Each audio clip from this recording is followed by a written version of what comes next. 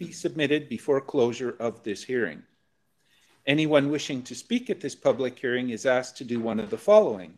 If you are participating by computer, please click the raised hand button, which can be found in the participants panel on the right-hand side of your computer screen. This will indicate that you wish to speak.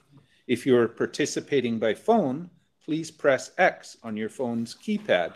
This will also indicate that you wish to speak. Having indicated that you wish to speak, you will then be placed in a queue until you are invited to speak.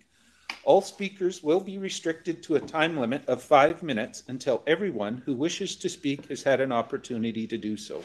Anyone wishing to speak a second time may do so by following the same protocol of selecting the raise hand button on your computer or by pressing X on your phone's keypad. To submit written comments, please email them to planning at rdos.bc.ca prior to the close of this hearing. I will now ask Christopher Garrish, Planning Manager, to outline the specifics of the proposed bylaws. Go ahead, please, Chris.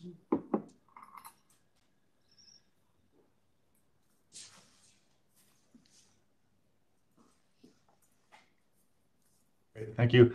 Um, so yes, uh, for the public hearing today, it is in relation to uh, the two bylaws, zoning bylaw 2800 and the official community plan amendments.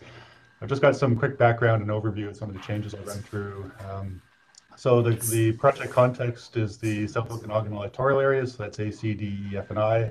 Uh, they're the ones shown here on the map in green. Um, it's, uh, it's basically proposing a consolidation of the six existing zoning bylaws for those electoral areas.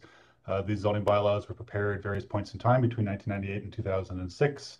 Um, and were all repealed and reenacted in 2008, largely unchanged. So it has been a number of years uh, now since they were first adopted. And as a result, uh, some of them have been subject to numerous amendments. The example I have here is Area D, which has had, I think, 50 plus amendment bylaws uh, to their zoning bylaw. And uh, just to reemphasize too that this has been a business plan for the regional district, or in the business plan, sorry, for a number of years now. And the benefits that we see with the project uh, include increased uh, or improved ease of access by the public and staff with a single updated bylaw, uh, reduced inefficiencies and duplication and overlap between the electoral areas, and also improved coherence uh, within the bylaw through the removal of internal inconsistencies and conflicts. So I'll just move now to like a, a very brief overview of some of the more significant changes within the bylaw. Of course, keeping in mind that over the last five years, we have run uh, numerous uh, zone reviews and regulation reviews, which have already been incorporated into the electoral area bylaws. But um, within 2800 itself, uh, there is a change in relation to the landscaping and screening regulations. It's being proposed that those not be carried forward, uh, that landscaping now be addressed through development permits in future. Uh, the signage regulations are being expanded, given their own section. And there's also proposing minor increases for farm signs. Uh, the nuisance regulations, uh, i.e. exterior lighting, uh, are being proposed for removal. Uh, they're not actually a, a, power under the zoning authority. They fall under a different section of the Act. Uh, occupancy of a second dwelling, um, proposing to replace the requirement for a covenant with a decommissioning plan and also a security deposit in the amount of $25,000.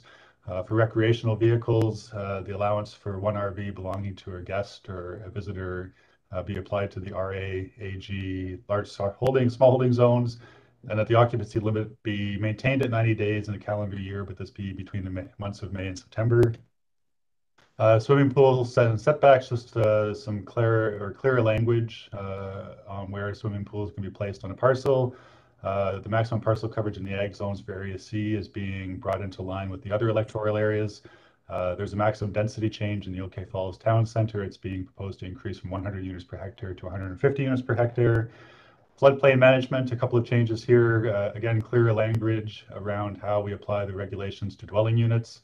Um, there's an existing provision that's not quite consistent across electoral areas, so we're proposing to address that by um, have it only apply to dwelling units on parcels in the ALR greater than eight hectares in area. And there's also a, a long-standing exemption that dates to 1982 um, that we think has been the subject of a drafting error at one point. So we're proposing that this be removed uh, from the bylaw. And then finally, uh, with regard to the OCP amendments, uh, the text amendments to the OCPs are largely to change references to zoning bylaws that would no longer exist. Uh, there are some proposed map changes, and that's generally to support um, the zoning bylaw uh, with consistency. And I've got just one example here of the map change to the OCP, and it's uh, from Area C, and it just shows the um, the change in designation of Park Rill Creek uh, from uh, agriculture to conservation area zone. So that, that's the kind of uh, changes in the OCPs. Uh, and that's it for my presentation, and I'll stop sharing my screen. Okay, thank you for that, Chris. I will hereby declare the public hearing open and ask if there is anyone who wishes to speak to the, to the proposed bylaws.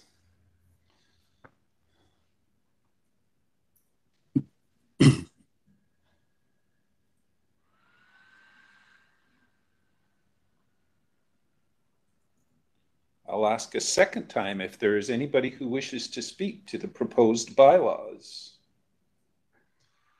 Are you seeing any hands, Danny, that I may be missing?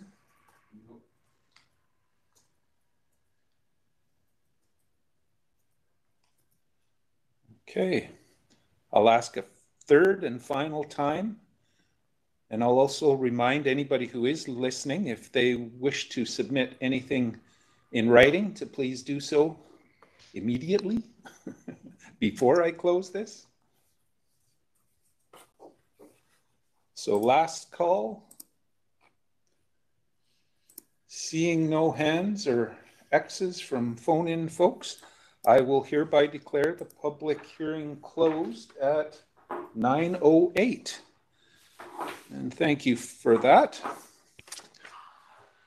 So moving on, I believe the first committee meeting we have on the agenda is Environment and Infrastructure, and I believe Director Bush is going to chair that for us today. So please go ahead, Director Bush. Uh, thank you, Chair. Uh, so this morning I'd like to call a meeting for Environment and Infrastructure Committee to order at uh, what time is it? 9.09. And I'd like to ask for a motion to adopt the agenda, please. Okay, moves. Second. All in favor? Any any opposed? No. Okay. So motion carries. Thank you. So this morning we have a delegation from OASISS, and I'd let uh, CAO introduce Lisa. Uh, thanks, Mr. Chair. So yeah, the, the uh, uh, Okanagan and Similkameen Invasive uh, Species Society is here to present their uh, previous year's activities and updates and then answer any questions that committee may have. So we do have Lisa Scott, who's been with us uh, in this capacity for a long, long time. And uh, obviously an expert in, in what she does. So we'll turn this over to Lisa. Good morning, everyone. Can you hear me okay? We do. Excellent. Okay, I will just share my screen.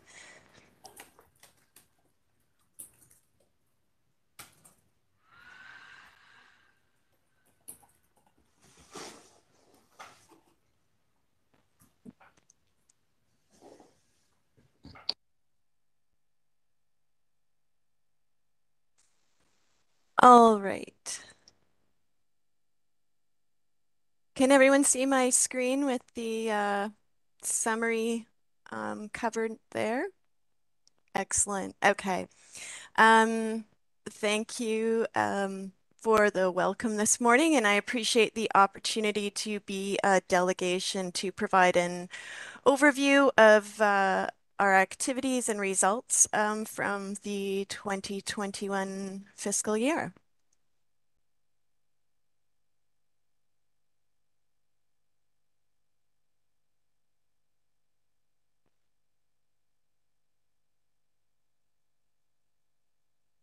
Thanks, Danny's helping me out here. There we go. Okay. Danny, I'll be able to advance the slides now. It wasn't letting me. There we go. Excellent. All right. Well, it was uh, a second year of um, dealing with the pandemic for all of us, of course. Um, so um, we it did impact um, our program to a certain extent. Of course, we did have to establish protocols and a risk assessment as well as a response plan, which we did have to put into play a couple of times with um, some suspected COVID cases. But fortunately, um, none of our staff did catch COVID, and um, we had a healthy year. It did impact a lot of our interactions, of course, and there were uh, much fewer um, community events and uh, somewhat reduced um, direct contact with private landowners, but it was still uh, um, a very fruitful year with lots of successes that I'll be talking about today. Um, what it really did mean, uh, as it did for um, for you as well as a board, is many things were moved to an online platform that typically would have been uh, achieved face to face. And I'll touch on that during my presentation. So, as a reminder to everyone, um, we are a, a region-wide program with uh, 20 or more funders in any given year. And of course, in addition to that, um, at least that same number again of, of partnerships of many organizations who may not provide direct funding, but they're part of the decision-making process um, they're they're part of the program. It's very much a collaborative effort right across the regional district. Um, our emphasis remains on invasive plants. Uh, approximately 80% of our budget goes towards invasive plants. Um, but we also address, uh, as many of you know, we've been working very closely for many years now um, with the Okanagan Basin Water Board uh, trying to keep invasive mussels out of the Okanagan. Um, we've also worked with um, invasive clams now. Um, we don't believe we have them here, um, but if you don't monitor, you don't know. So we've been um, diligently doing surveys um, along Osoyoos Lake. and we deal with emerging species as well. And from my perspective, the emerging species really all relate to insect pests. And um, that very colorful insect you see on the, the bottom right of, of your slide there, um, that spotted lanternfly. That's a new species to put on your radar. It is not yet known to occur anywhere in Canada. It's a federally regulated species, so if it does arrive, um, CFIA will be involved among other partners. But this one, um, this insect pest, uh, followed a similar path as the brown marmorated stink bug, which we do have here. Um, they both uh, love the tree that you see here, which happens to be an invasive tree called Tree of Heaven. Um, it's a preferred host species, but they also love grapes and fruit trees. And in Pennsylvania, this little guy has caused impacts of up to 90% devastation in vineyards we do not want it here. So, um, as I mentioned, our efforts are really um, not shifting, but we're enhancing what we do when it comes to raising awareness about insect pests like the spotted lanternfly. So getting down to some of the statistics for last year, um, again, we do work in all of the electoral areas with our partners. We provide assistance to all of the municipalities with our summer staff, and here's our our two students from last year, um, Megan and Luca, um, another excellent team um, and they did uh, work throughout the regional district um, doing inventory, manual control, and also um, some surveillance for those insect pests. Um, overall, our team of summer students, um, an in-house uh, crew of two, as well as a uh, certified spray contractor, we targeted 29 species throughout the region. We treated, uh, chemically treated a total of 25 hectares uh, and a total of 964 treatments. And we mechanically treated um, 278 sites covering a total of eight hectares. And I'm really excited to say, and um, I'm going to start reporting more on this every year because this is this is what we want to see. We had 281 sites that we surveyed with no plants found. Um, and just to be clear, if we find no plants at a site where we previously had invasive plants and we go one year, we don't just think our job's done and walk away. We there is a formula depending on the invasive plant we're targeting there, and we have a set number of years where we will continue to monitor and revisit that site to ensure that we did indeed um, have successful removal from that site. So the next few slides, I just want to highlight um, some of the projects and partnerships uh, that we've been involved with. Um, this is our this was our second year uh, at Heritage Hills Garnet Park, a regional district uh, managed park. Um, we were first introduced to this park in 2020 and spent an entire week and um, I think close to triple the number of hours from what you see here. So we obviously feel really good about um, what happened in year one. So reporting out on year two last year, 70 person hours. Um, we did a combination of chemical and mechanical treatments at the park. Um, you can see the Scotch thistle, that's that kind of glowy, prickly plant on the bottom left image before and after. Um, so a combination of chemical and mechanical treatments. You can see the total hectares there, um, 0.3 hectares um, for each type of treatment. And the mechanical treatment, so where we were digging or cutting plants, a total of 100 kilograms of weeds removed. But to put that in perspective, that was a 93% decrease from 2020. So much less biomass um, from the previous year. Um, so we're pretty excited about what we're seeing up in this park. And of course, we will put it on our radar um, for the current year. Um, and I'm sure we'll just continue to see um, in ongoing improvements and successes there. I wanted to highlight a new partnership. Um, we have, of course, worked with the District of Summerland for many years, but um, in 2021 was the first year we did a fee for service project. Um, we were um, brought on by the by the district to target the white flowering plant you see um, on the roadside here in this image. It's called Hoary alyssum. Um, I know the uh, the directors from Summerland will be very familiar with this plant. It's definitely um, been discussed uh, at the political level more than once. This invasive plant is in the mustard family, and it uh, you can see in this particular image in the background, we have a hayfield, and this is the problem. When this plant moves into um, pastures or hayfields, the big concern is the impact to horses. It can cause a um, toxic reaction to horses and to the point of actually causing death. Um, so this has been, um, it has been in Summerland and other areas of the region for quite some time, but it's really been shown to be on the move. So we worked very closely with the district uh, staff, um, brought in contractors as well as our own staff to target this plant. Uh, we did a very detailed inventory of all agricultural areas and came up with a total of 95 locations where this plant infests the roadsides or has moved onto the land, whether it be private or municipal land.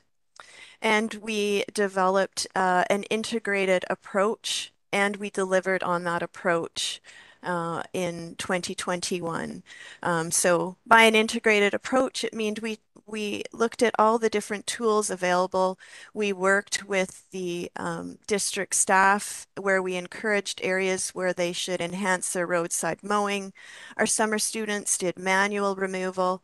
And then we also had a contractor do um, uh, chemical spot application. And in our plan, we provided recommendations for 2022, um, which would be some ongoing treatments as well as some door-to-door contact to encourage the reciprocal treatment on private lands.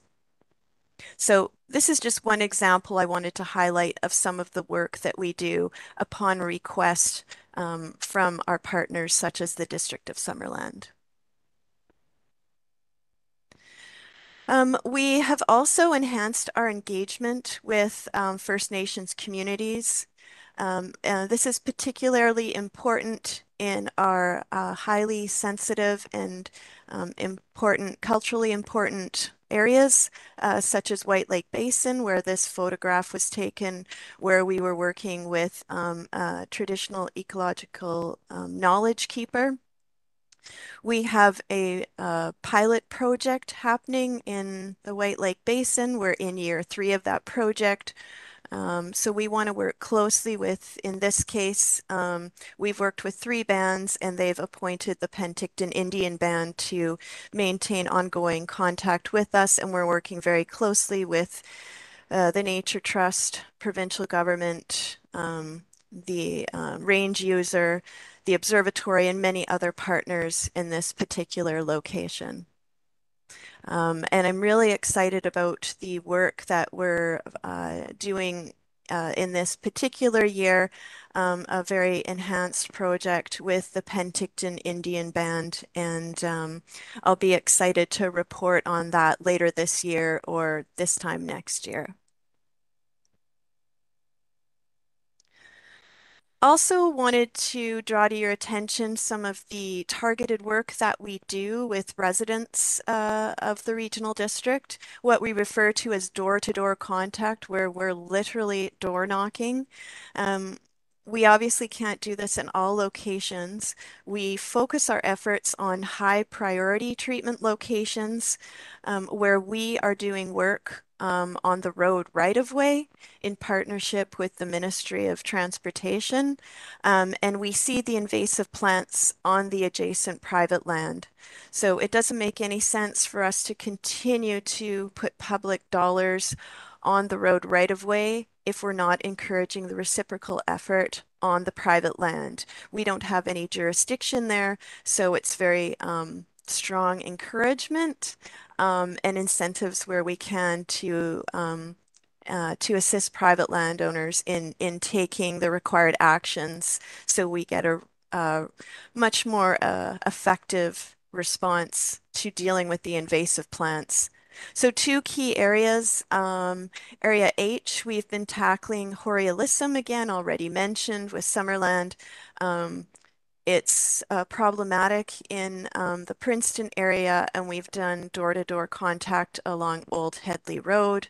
Um, and we've also been working um, with residents uh, in area I and maybe just squeaking into area C along um, Green Lake Road, just outside of OK Falls, where we've been working very diligently to reduce an invasive plant called blueweed.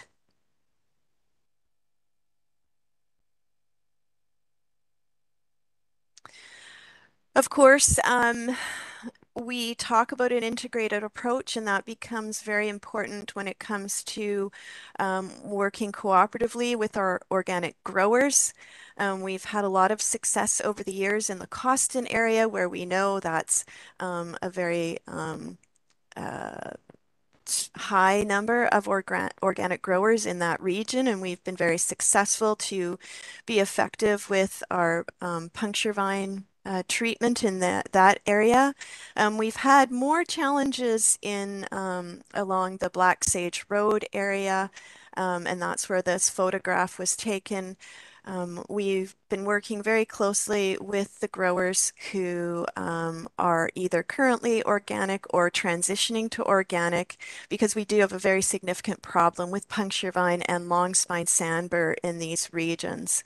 Um, so that's an ongoing project, um, but I just wanted to highlight that for you where we're really trying to seek some creative solutions to um, provide some courtesy in those areas adjacent to the organic growers um, and also provide them with advice and solutions so um, we can all meet the same endpoint uh, and also be effectively managing the invasive plants on the roadside.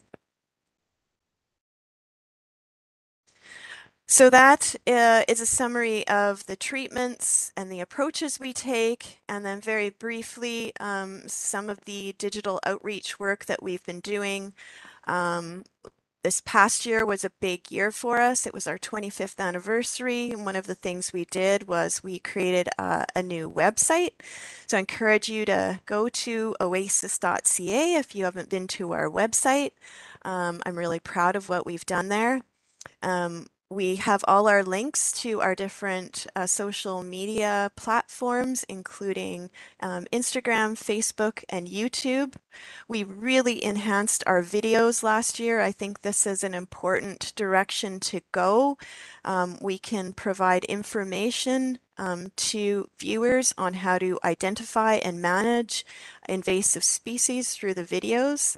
Um, but of course, um, we continue to put pictures and posts and share messages through uh, Instagram as well as Facebook.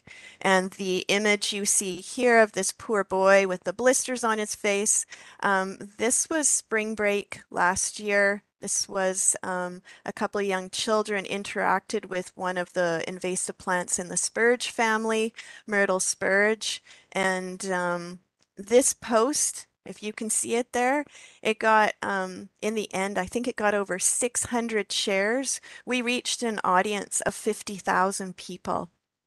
Um, it continued to go viral throughout the spring and summer of last year.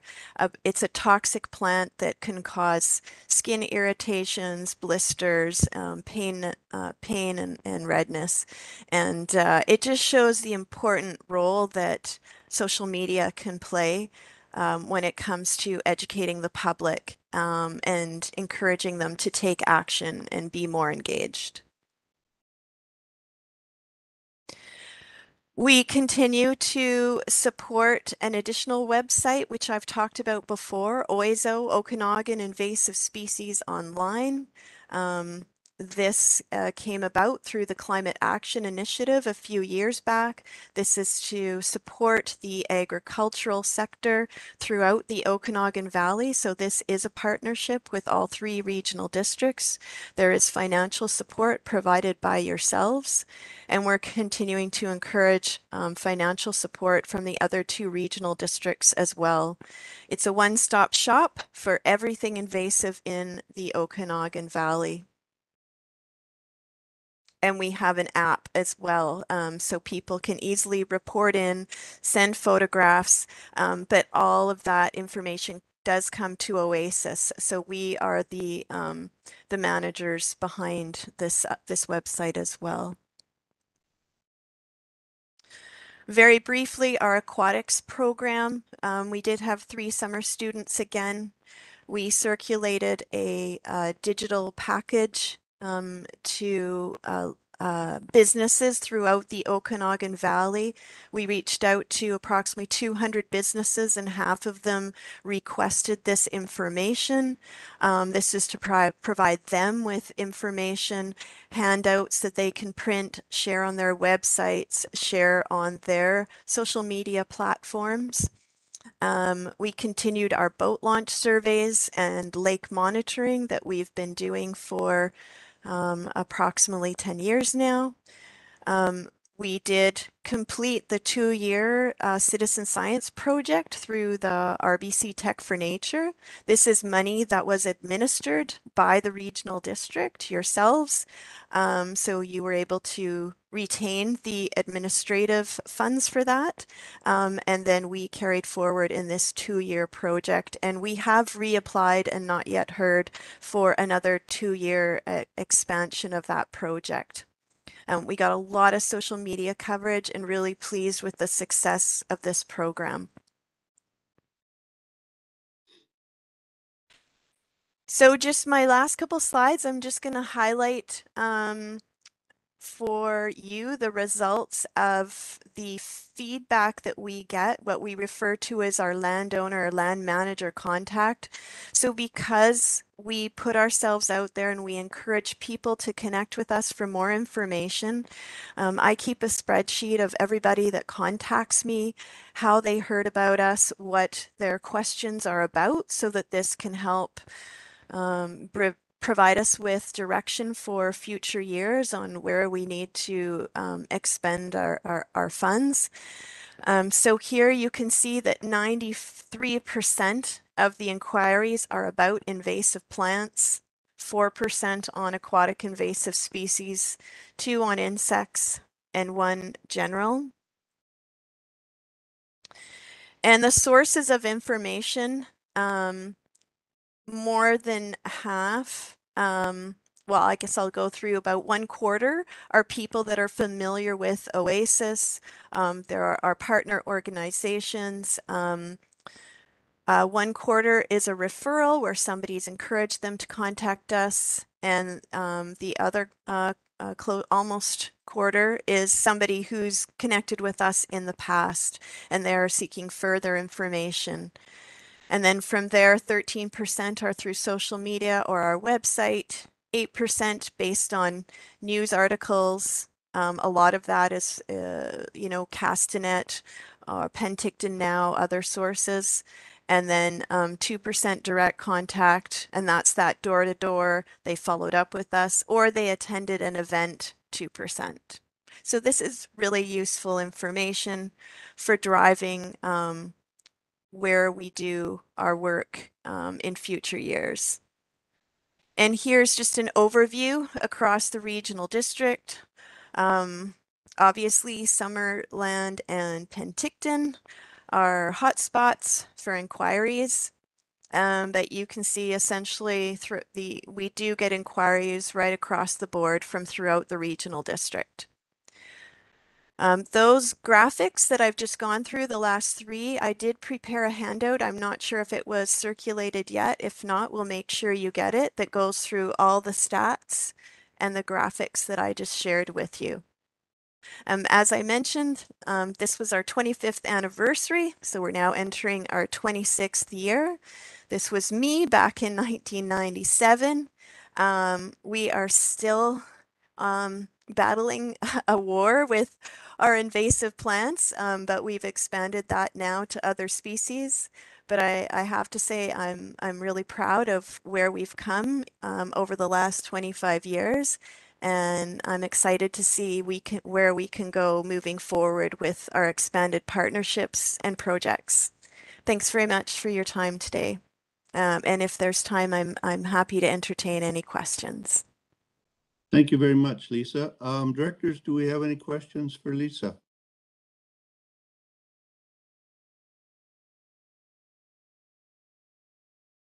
Okay, seeing none, is there any in the boardroom that I can't see? I'm not seeing any. Okay. Uh, Lisa, I have a question regarding uh, brown marmorated stink bug. Uh, when there's sightings, should they be reported? And if so, is there anything that can be done to control the spread of them? Thank you for your question, Director Bush. Um, yes, most definitely. Um, brown marmorated brown marmorated stink bug. Wish it was a shorter name. Um, has been found to occur throughout the regional district, both in the Similkameen Valley and and in the Okanagan Valley. The hot spot is downtown Kelowna, but it has been shown to spread into some of our orchards, mainly in the Mission area. But it hasn't. It's not considered established yet, which is fingers crossed good news. So any reports um, should go to um, the Ministry of Agriculture, the Kelowna office, um, or they can come through me and, and I can funnel it there. But um, it's really important to take a picture, but almost more important is to collect a sample. There are some really similar looking stink bugs. Um, so collect a sample, an unsquished sample, just in a little um, vial or even a plastic bag um, and report it where you found it and when. As far as control options, um, unfortunately, they are limited at this time. Um, but um, so we're just the messenger, but Ministry of Agriculture is working with the Federal Agricultural Department to uh, look at direction of where to go with this um, particular insect pest. Okay, thank you very much. You're Um, welcome. Seeing no other um, questions, I think we'll move on. to- There's one question. Tim, Go ahead. Director Roberts. Go ahead, Tim. Uh, thank you. I was waving frantically earlier, but uh, I think I'm hidden in my trees. Uh, a question whether or not and what kind of support and uh, cooperation do you get with the Ministry of Transport in regards to alleys, boulevards, and highway roadsides uh, in regards to invasive um, plants and the management thereof? Thank you for your question, Director Roberts. Um, the Ministry of Transportation is um, provides um, the most funding out of all our partners. We um, have received, or we are apparently about to receive. We don't have a contract yet for the current fiscal year. I've been told it looks like it's status quo, which is hundred and ten thousand dollars um, for the uh, doing work in the RDOS. So that's complete. That's treatment, administration, outreach, and education. They do have some requirements that we need to address in there. A certain percentage of that money has to be spent in gravel pits, for example. Um, the Ministry of Transportation does not specify um, outside of that, um, like any particular streets or locations. Um, you mentioned alleyways, which alludes to municipalities. So within municipalities, we do not spend uh, Ministry of Transportation dollars. Um, yeah, did you want to add to that? Sorry. Uh, thank you. In electoral areas, our communities aren't municipalities, and we um, all the jurisdiction for alleyways and boulevards, et cetera, are all on the Ministry of Transport. And wherever we have an overgrowth of weeds, and that that's not RDOS land, it's all Ministry of Transport. So concerns around communities like Olalla, Hedley, um, where they'll have a buildup of weeds and invasive plants in these unmaintained alleys and uh, roadsides. Hmm. Thanks for clarifying, Director Roberts. Um, I think that's a really good um, question worth exploring. Uh, Um, perhaps you and I could arrange a field day to go out and take a look at some of these locations. I could try to arrange to have a Ministry of Transportation rep come as well. Um, right now, we are in the process of working with all of our partners in what we call a planning committee format, where we make kind of broad-based strategic decisions on where the pooled funding will be spent, but obviously each funder has specific criteria and mandate that we need to meet. So as with any pooled funding, it's a balancing act, but I think it's important, and that's our role through OASISS, is to um, hear the concerns from um, the constituents, um, from yourselves, and to try and work with our funding partners to address to address those and come up with solutions. So, um, yeah, let's let's uh, talk about that and and get together in the very near future. Um, I think the invasive trees is going to be an ongoing um, issue. Um, and with the invasive trees come the invasive insects. So um, I would just say stay tuned to everybody. Um, I think we're hopefully going to see some changes and um, a, maybe a bit of a shift in our um, target species over the coming years. Okay, again, thank you very much. Lisa, uh, any final comment? Okay, seeing none, um, I think we'll move on to, uh, delegation regarding sustainable fleet infrastructure. CAO? Thanks, Mr. Chair. Uh, we do have Jeremy Dresner available. Uh, we were fortunate enough, uh, a year or so ago to, uh, qualify for funding from under Fortis BC for, uh, energy specialists to come into local government and assist, uh, with the development of programs. And Jeremy has been with us, uh, for about a year now and very, uh, successful in, uh, moving us forward and acquiring grants, uh, to support that.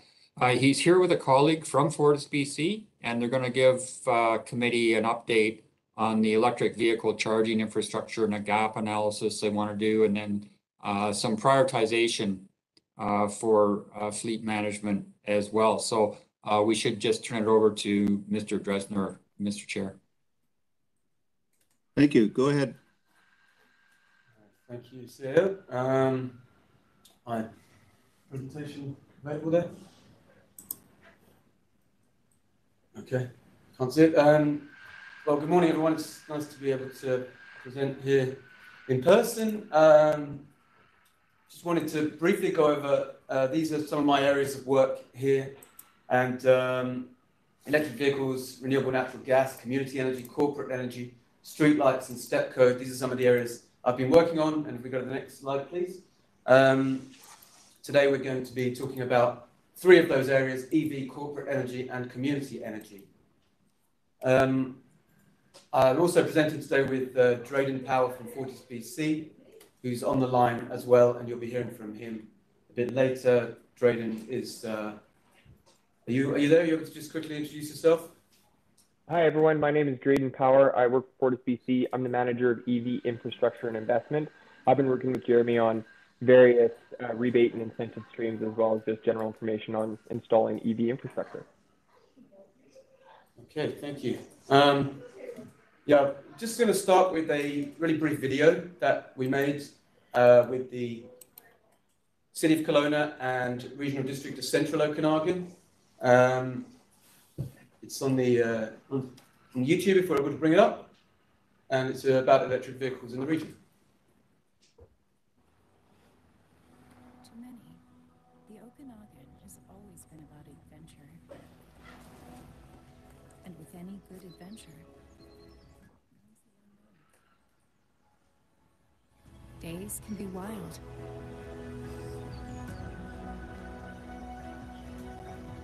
Spontaneous.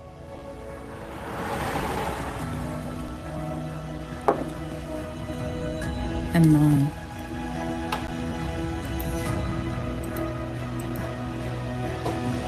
And while the adventure may be unknown, the drive will be sure, secure, energized, peaceful, and clean for generations of adventurers to come.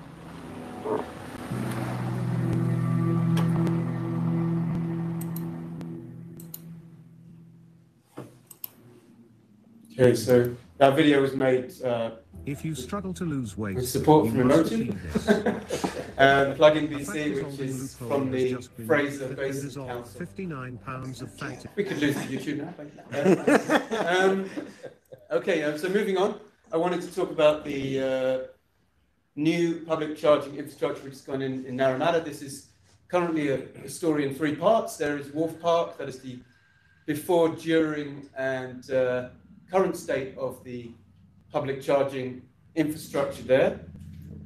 Um, we are waiting for spring to come round. Uh, in a few weeks' time, we'll be able to put the asphalt in and complete the, uh, complete the installation.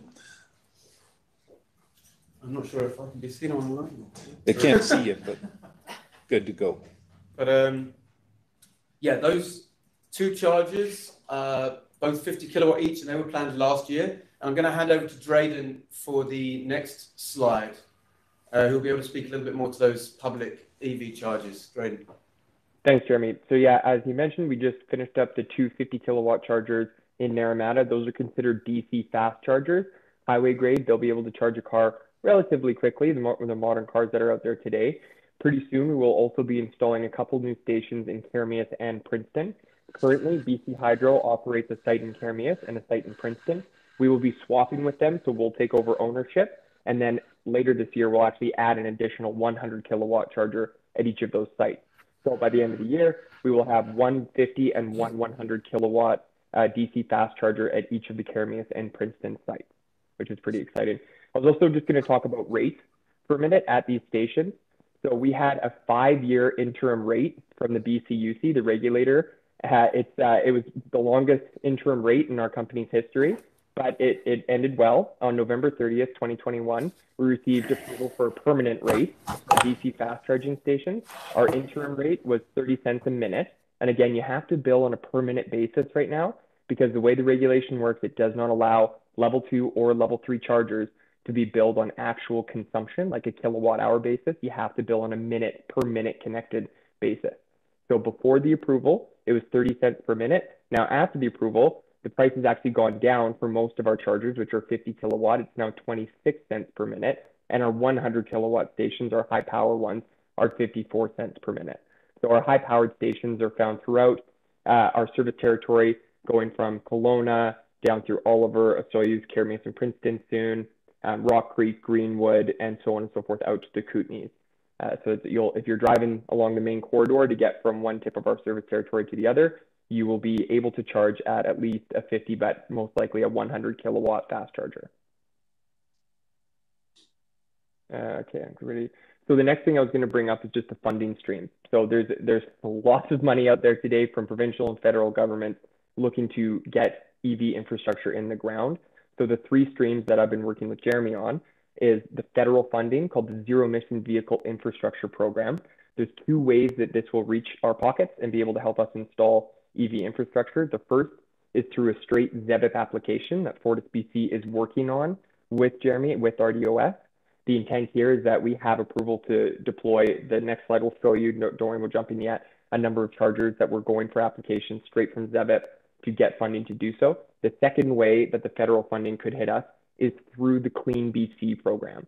So the provincial funding program is called Clean BC. The Clean BC Go Electric program provides funding for workplace, fleet, single family homes, MURBs. If any of you have installed a charger uh, in the last couple of years, I hope you've taken us up on our rebate program. If not, feel free to call me and I can walk you through it. Um, but the provincial program has recently received a top up from the federal government through ZEVIP for an additional fund through there. So long and short, there's provincial and there's federal funding. On top of that, FortisBC is actually looking into releasing our own incentive program right now outside of the municipal and federal and provincial funding programs. This would offer charging or a rebate for chargers based on a minimum take or pay requirement. You have to consume a little bit of energy for us to justify the cost to give you some money. So we're just working through the regulatory process right now on getting that approved, but we hope to have it live by the time that a lot of these chargers are going in in the RDOS area. Okay, if you want to jump to the next slide, I'll pass it back to Jeremy.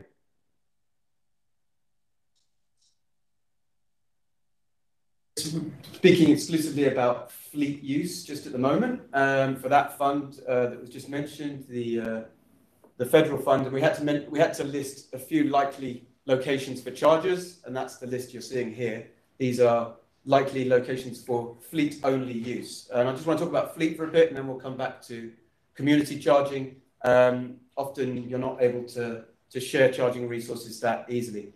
Um, if we can just go on to the, to the next slide for a second. Uh, thank you. Um, we are, we've just started a fleet assessment of our, our fleet. And uh, this is involving putting a monitoring device on every vehicle, or 42 vehicles, understanding just in the round after, after six months what their distances traveled are, their return to base, things like that. Um, installs are going on yesterday, today, in those devices, and we start uh, the monitoring process after that. Uh, we're looking at fuel savings, cost savings, more predictable pricing for fuel, and of course, understanding what our potential is for GHG reductions. Um, next slide, please. And um, basically, we are looking to measure all of these um, aspects and doing that full duty cycle analysis of their fleet use will help us determine which vehicles are suitable for electrification in the future. We need to really get high quality data in before we can start making that decision. And uh, we received uh, $10,000 for Plug-in BC to, to launch into this. Um, I've also spoken with uh, Summerland and Penticton, who are in various stages of doing their own fleet analysis, as well as uh, Oliver. Um, and uh, I spoke with uh, Osoyoos as well, and uh, Princeton. Different municipalities were in different stages of their own fleet analysis, but my general aim was to try to do as much combined as possible because I think in the future there may be efficiencies with uh, sharing uh, purchasing of vehicles and looking to, to be efficient in the way that vehicles are, are moved around the region. So that's all to be determined. And first things first, let's get the data in and understand our, our routes and our, our cycles of those uh, vehicles. Um, next slide, please. So what's the outcome of this study going to be? It's going to be a review of the existing fleet. It's going to provide recommendations for electric vehicles, um, an overview and recommendation for electric vehicle charging infrastructure, a roadmap of a phased approach to EV adoption, energy analysis of current operations, energy and GHG impacts that we would benefit from with EV adoption, and a cost benefit analysis. Uh, next slide, please. So why are we doing all of this? Um, there's a lot of reasons, but this one will be clear to anyone who uses a vehicle. Um, that's the 18-month average price of gas that we've seen. Um, next slide, please.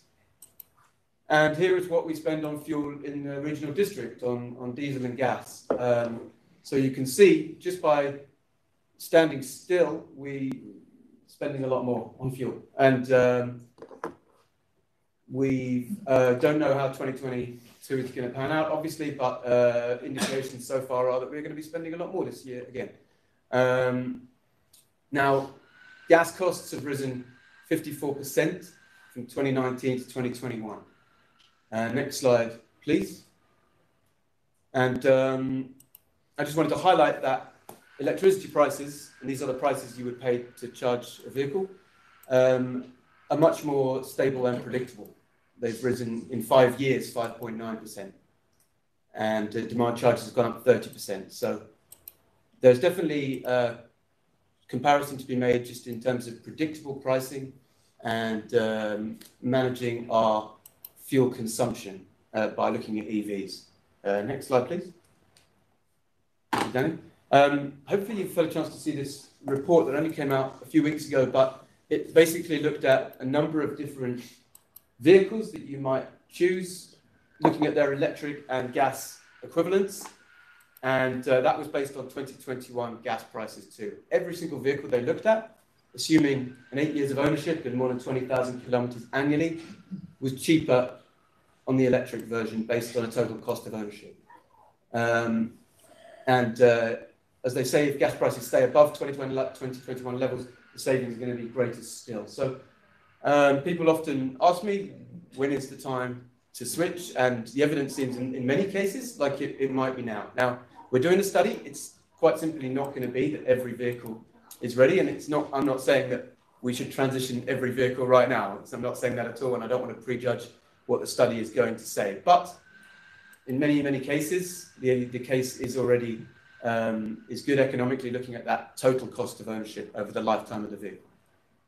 Um, next slide, please. And uh, the other reason we're doing this is because EVs are already happening. Um, just last month, the federal government mandated an even tougher schedule, mandating one in five new passenger vehicles to be battery operated by 2026, 60% by 2030, and 100% by 2035. BC leads the way. We already have 13% of all light vehicles on the road registered last year were EVs. And in Canada overall, 11.8% were EVs, hybrids, or um, some other low carbon fuel. Uh, next slide, please. I just want to talk about two concerns that you often hear um, about EVs. One is that there are not many models available and uh, they're not the right type of vehicles. Well, um, that is changing, and you can see from this, this data in the next two years, there are many, many more models that are going to be released that aren't currently available. A lot of manufacturers are switching to produce, uh, provide EVs of various types. And second, uh, next slide, please. Second major concern is often about range anxiety. All fair enough concerns. I just want to give two example journeys that we might make in the regional district to the very uh, furthest distances from, from here. And as you can see, with the proposed F-150 Lightning and the proposed Chevy Silverado, uh, based on their listed ranges, they can do uh, those journeys and back on their on without even having to recharge. So um, again, an EV is not suitable for all situations, not for all uh, uses, but there are technology. What was true two years ago is not necessarily true today, and technology is moving very, very rapidly with these things. Um, next slide, please. So, having having uh, got some uh, electric vehicle charging infrastructure in already and looking at our fleet, I wanted to really focus on community EV charging. It's a topic we, we hear a lot about. And um, what I'm proposing is that we embark on a report from uh, the Consulting Group. They've done reports for the Capital Regional District on the island. They're doing a report uh, for the city of Kelowna. And they will do a thorough study of uh, residential density, land use, uh, look at current traffic patterns, and look at all the um, areas that may be suitable for and, and well used for community electric vehicle charging. Um, so I, I think that, that we should embark on this. It would be a money can come from the uh, CARIP Fund, which is the uh, community, uh, the Climate Action Revenue Incentive Program, which um, we have budget for that. and uh, it would take four months to produce a report. And with a report showing where in the community we'd be well placed having this infrastructure, we can use that to apply for further funding to, to get some of that infrastructure put in. Um, next slide, please. That's uh, yeah, final slide here. That's the, the gap analysis would produce a map of the region showing, showing the areas that are suitable and provide a rationale for each location. And uh, yeah, final slide. Any questions for, for Drayden or myself?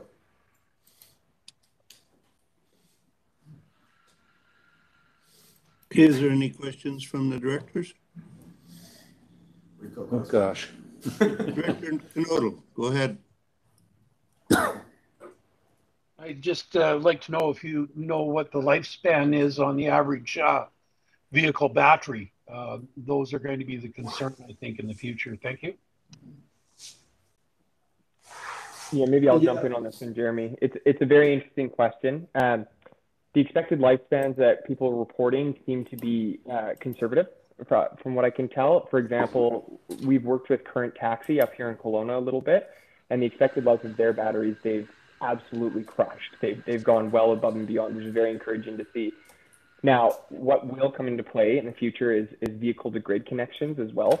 So at some point in the future, we will have the ability to actually use our vehicles as energy storage to backfeed and either sell energy back to the utility, offset your own heat, or myriad of other cases.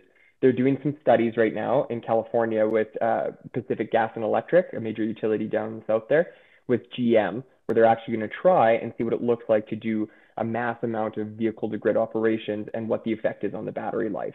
So right now, I think it's pretty conservative to say around uh, eight to 10 years is pretty common. Um, but they're hoping that with some additional testing that they can bump that number up, especially once new technologies like V2G become more commonplace.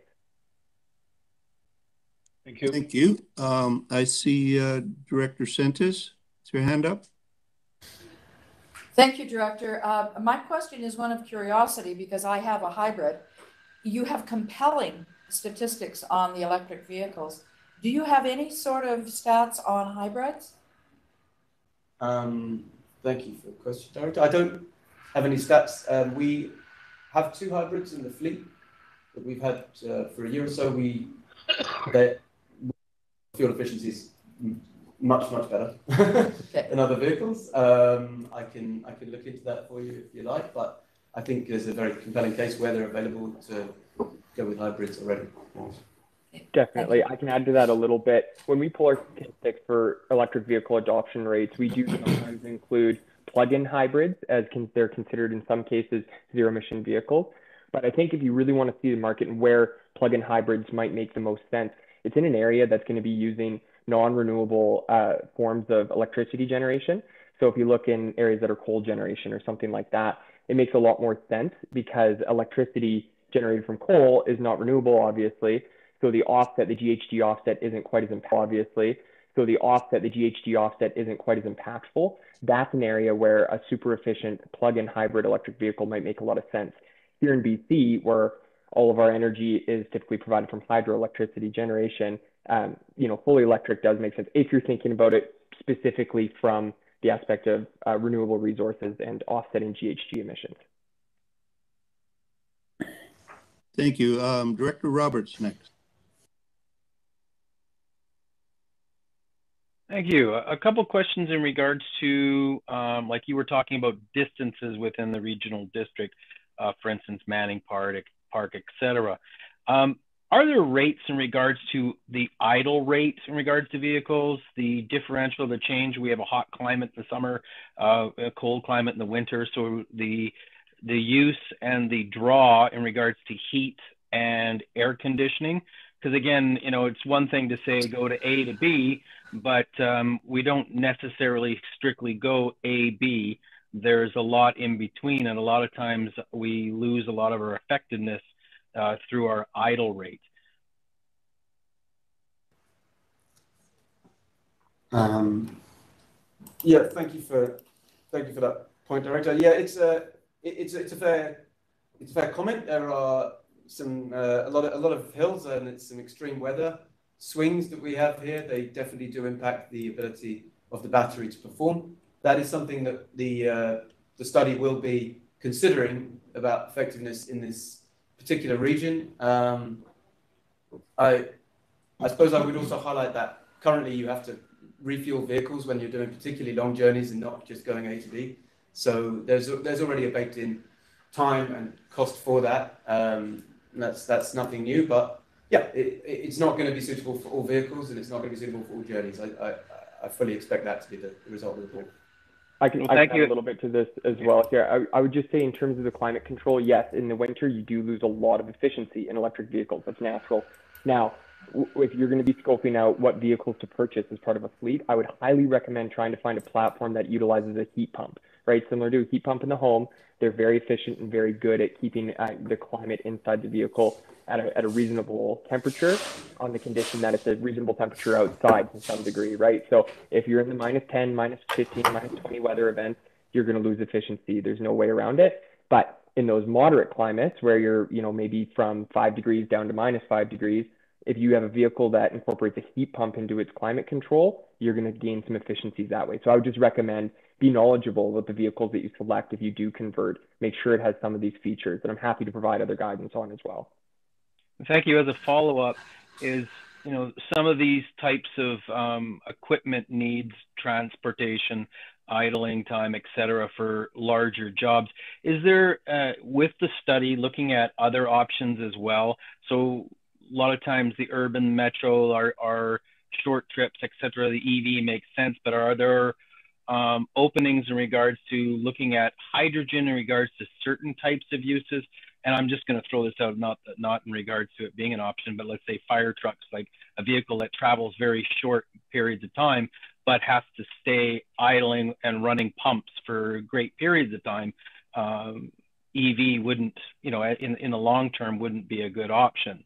So, so I'm just going to use that as an, a use example. So is there investigations in regards to hydrogen as well as electric? Thank you. Or other of things as well. Thank you, Dorothy. It's not something I'm currently looking into, but um, I'm I'm happy to happy to go back and, and see if that's something that we could uh, look to include in, in, in this study or maybe future studies because I, I, agree with you that there may be potential there. Um, we would have to look at the consideration of where hydrogen fueling is going to be as well uh, if, we, if we go down that route. So. Yeah, Fortis is obviously looking into hydrogen as well here for insertion into our own gas lines, but but for hydrogen fueling as well. And one of the things that we've found is the same challenge where we need the infrastructure for refueling um, to really make it make sense.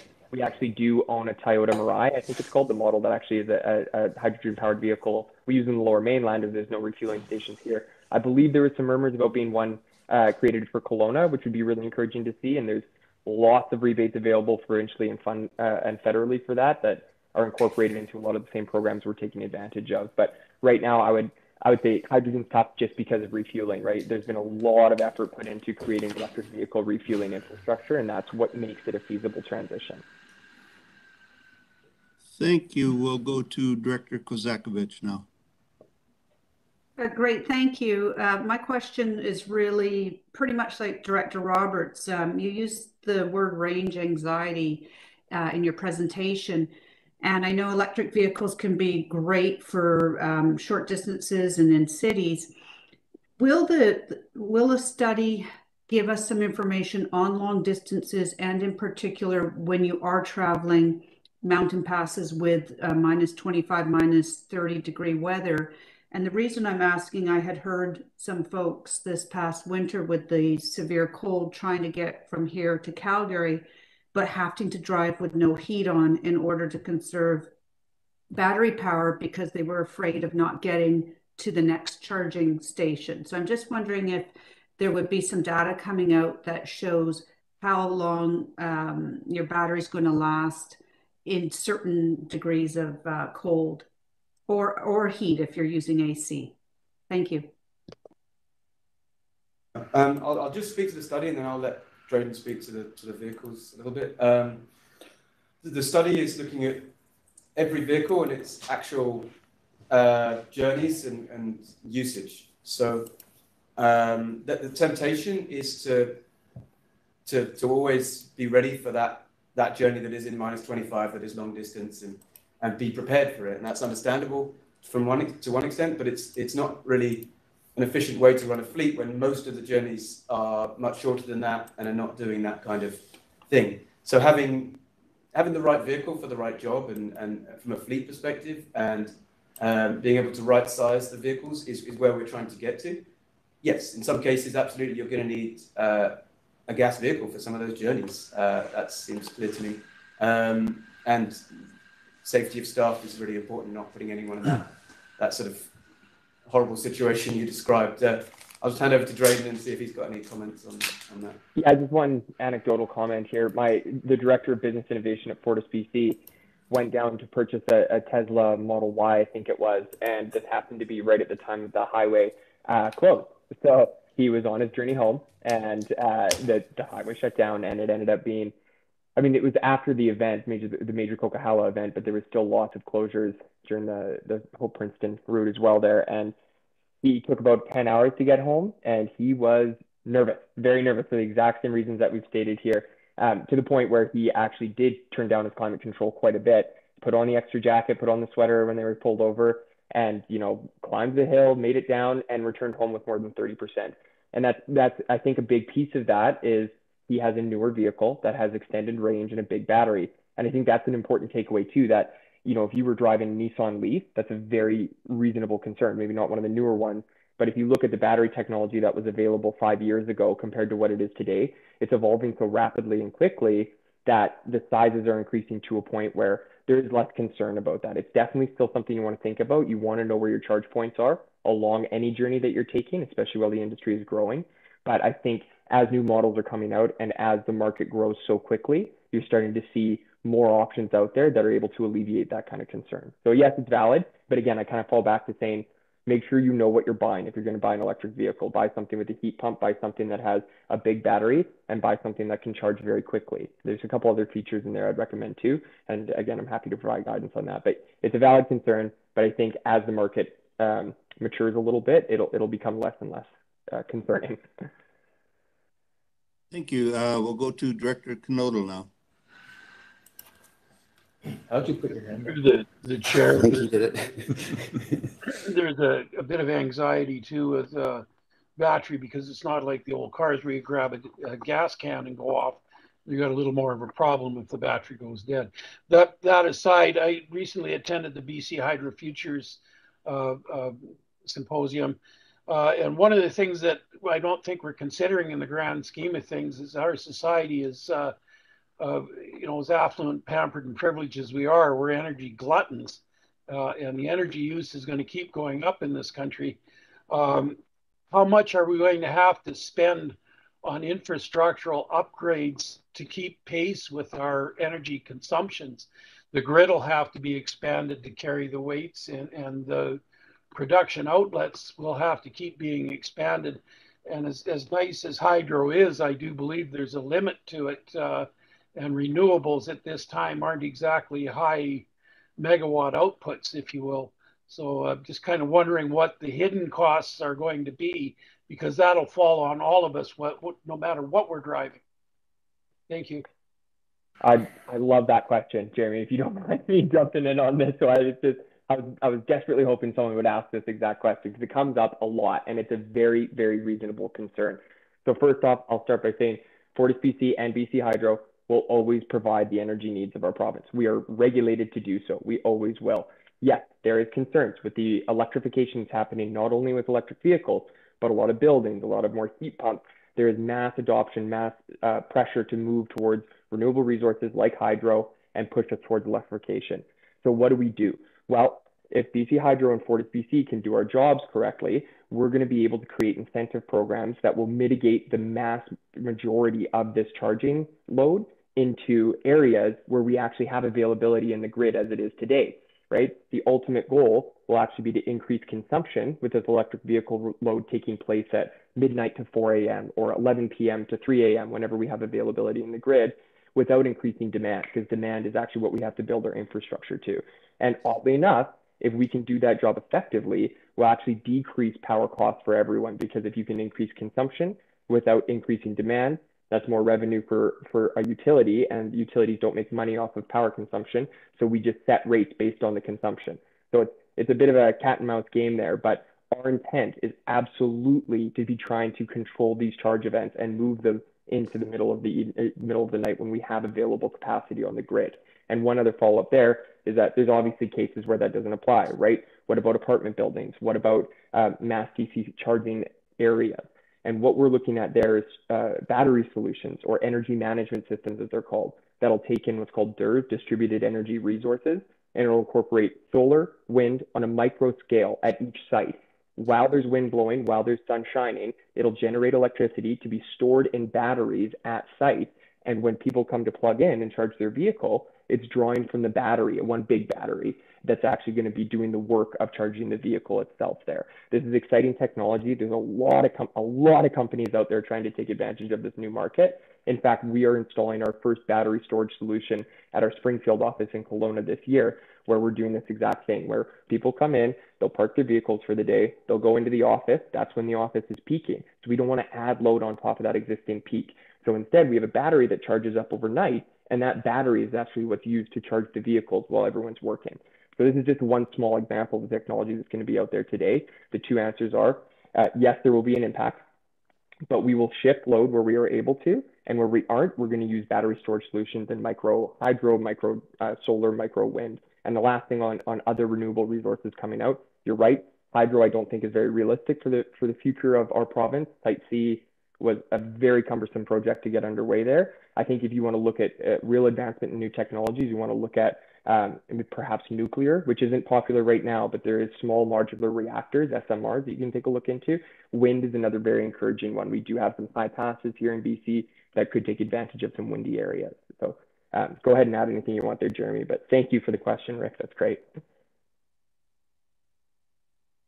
Yeah, thank you, Derek. You're, you're, you're absolutely right. We are high consumers of energy, and uh, you, you, are perhaps a model of the, the low energy lifestyle by, by dialing into these meetings frequently, and it's something that we we now have a, an option to do. And um, there's many, many, many behaviours we can do that reduces our general energy consumption.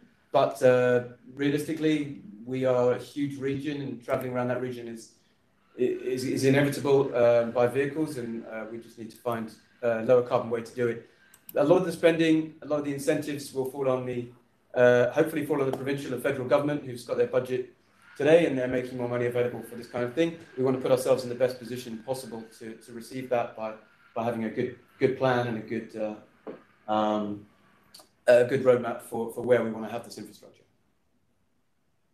Thank you. Um, Director Spencer Coyne's next. Thank you. Um, I'll try to keep it brief because we're kind of out of time, but um, first off, I just want to say your friend that uh, was coming over the Hope Princeton, he doesn't have to worry. We got EV chargers from Hope all the way through Keremeos, so we're we're well equipped for that.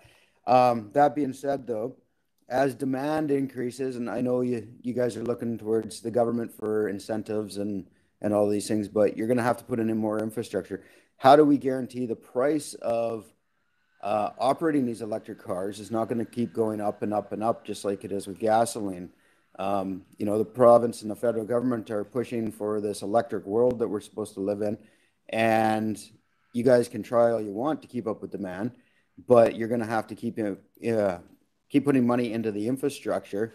And at some point, we're going to have to pay for that as the end users. So, how do you guarantee that the price of charging your electric car is not going to catch up to the price of fueling your, your gasoline vehicle at this time?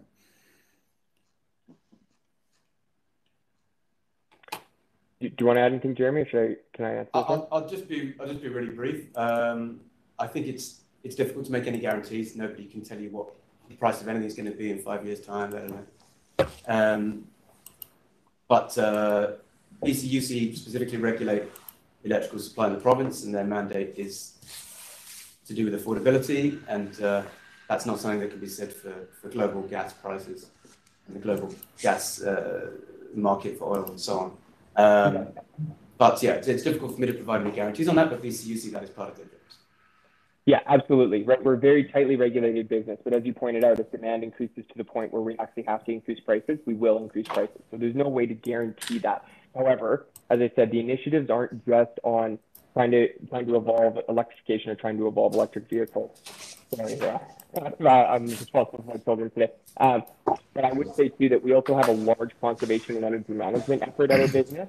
And not only are we looking at these alternative options of battery storage and micro generation for, for microgrids, which is the way of the future, there it's generation from every source. Using your vehicle as a battery is another option.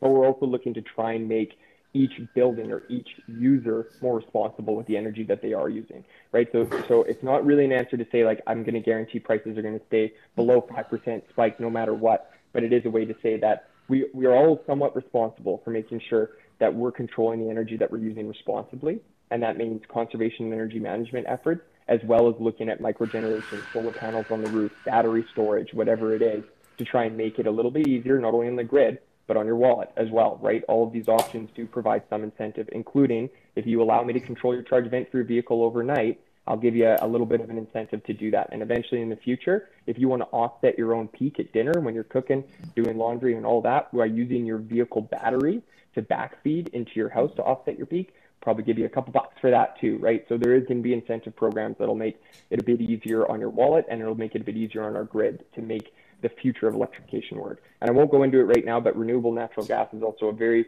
reasonable approach to the interior that does need heating beyond what a heat pump is currently able to supply. It's a completely separate topic, so I won't go into it. But before we go too far down the road of electrification, we should really listen, I think, to what FortisBC is doing with renewable natural gas as well. Okay, Director Holmes, go ahead. Uh, yeah, thank you.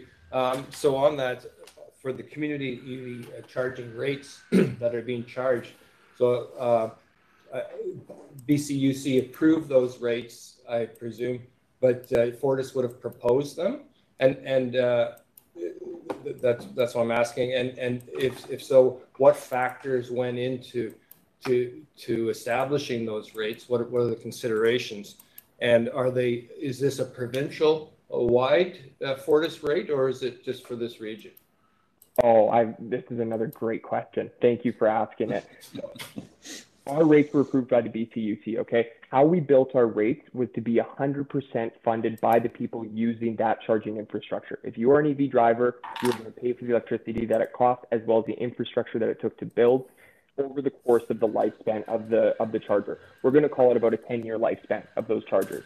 Based on our assumed predicted charging events, we built that rate to say all of the money that was spent on putting the charging infrastructure in the ground will be recouped by the people who use it. Okay, so slow uptake at first, but by the end, we'll probably be making more money than at first. Obviously, it goes like that. We are separate from BC Hydro, completely separate. We just went through this regulatory approval process. We had ours approved. BC Hydro went through the same regulatory appro approval process.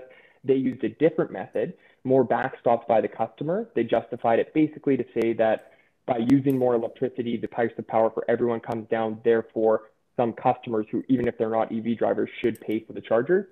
They were denied by the BCUC. So their rates are still interim and they were denied on their latest uh, uh, regulatory approval process. We were approved. So a little bit different methodology. Ours were completely encapsulated. Say if you're using the infrastructure, you will pay for the infrastructure alone. No other FortisBC customers are doing so. BC Hydro went the other route and was denied. That being said, everyone is on their own for this industry, right? So if, if a charger is owned, even if it's in Fortis BC territory, if you park at a grocery store and the grocery store owners are the one who actually own and operate that charger, they're allowed to set the rates whatever they want. There's, there's basically no regulation in terms of setting those rates right now, uh, other than it has to be done on a per minute basis. You are not allowed to bill on a kilowatt hour consumption basis right now. Thank you. Um, Director McKortoff, did you still have, oh, sorry, uh, Director Holmes, did you have another? Follow up? Yeah. Are rate the same in the whole Fortis area? It's not just for our area. All of the DC fast chargers that we all own and operate are the same. So even the ones that are in municipal utilities like City of Penticton, City of Grand Forks, City of Nelson, where we have charging infrastructure, those are the same across the board for all of our chargers. If it's Fortis owned, that's what it, that's what you're going to pay. Okay. Okay. Thanks. Director McKortoff, did you still have a question? Question. I'm very interested in what's uh, being said today because, as well as uh, uh, Director Sentes, I also have a hybrid, and um, and I'm finding it uh, quite a learning experience to figure out, you know, what I should do and how I can deal with it, and uh, and so I appreciate all the information. Thank you very much. Okay, Director Vassilaki, go ahead. Uh, thank you very much. A very interesting topic. Um, the, the Council of the City of Penticton is so concerned about this matter that it came to our City Council meeting this past Tuesday, um, where all the EVs that are owned by the City of Penticton that uh, people can hook up to in order to charge their batteries um, we are so concerned about people. We want them to, to purchase more electric vehicles that the first two hours that you hook up to the city EV units are for free. Uh, and then uh, another two hours after that is $2 an hour, I believe, uh, for a charge. So we're taking this matter very, very seriously. And I do hope that other municipalities uh, in our region, uh, but right across British Columbia, uh, put a similar process into place so that more and more people can use electric vehicles. So uh, I'm, I'm really appreciative of the discussion today and it's very informative. Thank you very much. Thank you. Um, Director Knodel, could you make it quick because we're uh, over time Well, certainly. Uh, one thing that I've listened uh, come kind of to the surface here is a direction towards uh, time of use billing, and that is very frightening to me, given exactly what happened with the uh, two-tiered system. It punished the wrong people and didn't do anything to add to uh, uh conservation. So uh, I just uh, wonder if you have a quick comment on that. Very, very quickly, I'm very aware that we've probably gone way over time. Thank you. Um, yes, we are against time of use billing. When we brought in advanced metering, we promised we would not do time of use billing, and we are still planning on not doing time of use billing. I think I think it's a bit of an archaic approach to the problem that we have. If you set rates to be cheaper at 10 p.m., you're just creating a new peak at 10 p.m. I think what's better is to use the technology we have today to manually control loads. So I know when your neighborhood peaks and your neighborhood has availability between 12 a.m. and 3 a.m. That's great. We're not going to go time of use. There may be a cheaper rate at that time just for EVs. We might just give you a cash incentive to let me control the charge event. We're still working through how to build the uh, uh, the program, the incentive program but we will not do time of use as it stands today. Thank you, sir.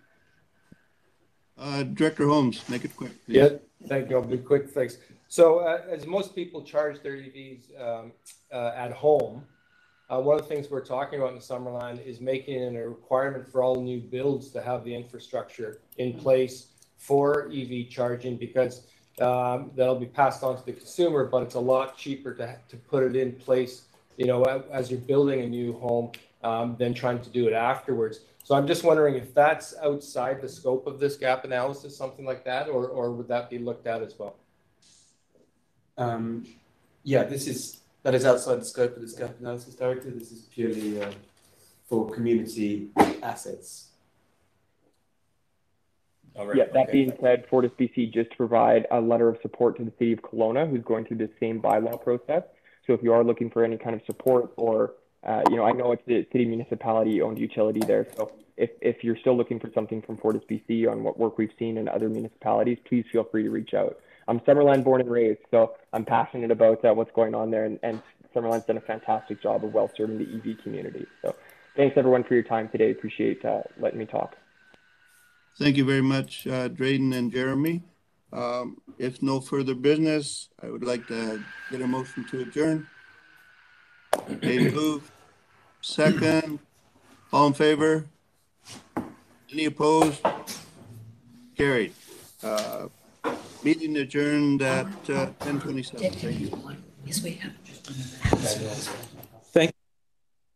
We will move directly into Corporate Services Committee. We have a motion for agenda, moved, seconded, thank you. All in favor? Thank you. Any opposed? Motion carries. First item on the agenda is the BC Electrical, or Electoral Boundaries Commission submissions, CAO. Thanks, Mr. Chair. Uh, we did have a previous discussion about the Electoral Boundary Commission and uh, had a few suggestions uh, that the board may want to put in some corporate recommendations to the Boundary Commission as they're going through their discussion process. And I understand that we do have them lined up for an after board meeting uh, opportunity uh, with some of the panel members at least uh, today. So uh, we can take whatever we come up with today into that discussion later. But at the previous discussion, we did have a suggestion that we might want to ask that the uh, Penticton riding be renamed to more accurately represent the municipalities that were in it. Uh, right now, it is just named Penticton. Obviously, it's a much bigger riding uh, than just Penticton. But the other thing that we talked about was, uh, I mean, the boundary Similkameen riding is very large and it covers right from the boundary area up through the Similkameen. And there was a suggestion that maybe we might want to recommend a split between Okanagan and Similkameen and then let the Kootenay boundary area go by themselves. So uh, those were some of the things that uh, had been under discussion, but we didn't come out with any recommendations uh, for the board to vote on uh, as far as a corporate position on these. So that's what today is about, Mr. Chair, is to uh, discuss these recommendations as well as any new ones that anybody might want to make. Okay, looking around, I'll go to Director Coyne. Yeah, I, I mean, just speaking on my end of the Similkameen Valley, I don't think we have a problem being part of the boundary Similkameen. I think if there's a change, we need to try to keep the Similkameen together. Um, this has always been a struggle in our riding. We've been on divided either one side of Hedley or the other side of Hedley. And now we're back together, which which is good because our our our issues seem to align uh, usually around our water and, and whatever. So um, if if I if there was anything I would suggest that we take to them is that the Similkameen, no matter what happens, stays in the same riding for a change instead of being split apart again because it, it makes it frustrating when we're with Merritt one year and the next election we're with Grand Forks and and then maybe Keremeos is with Penticton. It's just you know there's no alignment on our on our political or on our provincial um, needs, and then we have different MLAs at different side of the part of the floor, so it makes it difficult for us to align on things. Okay, any other thoughts? I'll go to Director Monteith. To the chair, um, I had previously suggested that we consider Apex moving into the Penticton riding as well. Um, I did attend the uh, Penticton meeting yesterday and did share that with the commission. Um, there was uh, residents as well as in attendance, as well as I met with after. Um, I attended a Apex Property Owners Association meeting, and the conversation was very rich there, and they definitely supported as a community um, moving into the Penticton riding. So um, that's something that the I know the residents are going to recommend in the feedback process. Um, they feel that aligning their services with their representation that would be logical for them. Okay, thanks for that. Any other points to be made?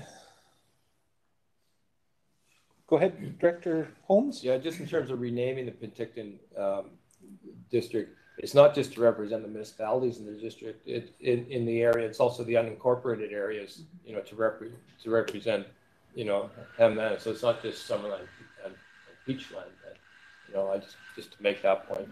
Yeah. There's Naramata, Faulder, and everything like that. Good point. Uh, Director Trainer.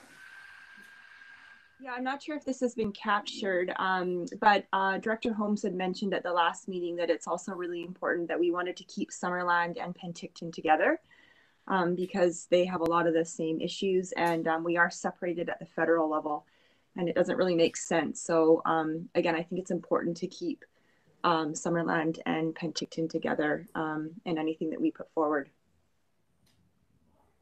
Okay.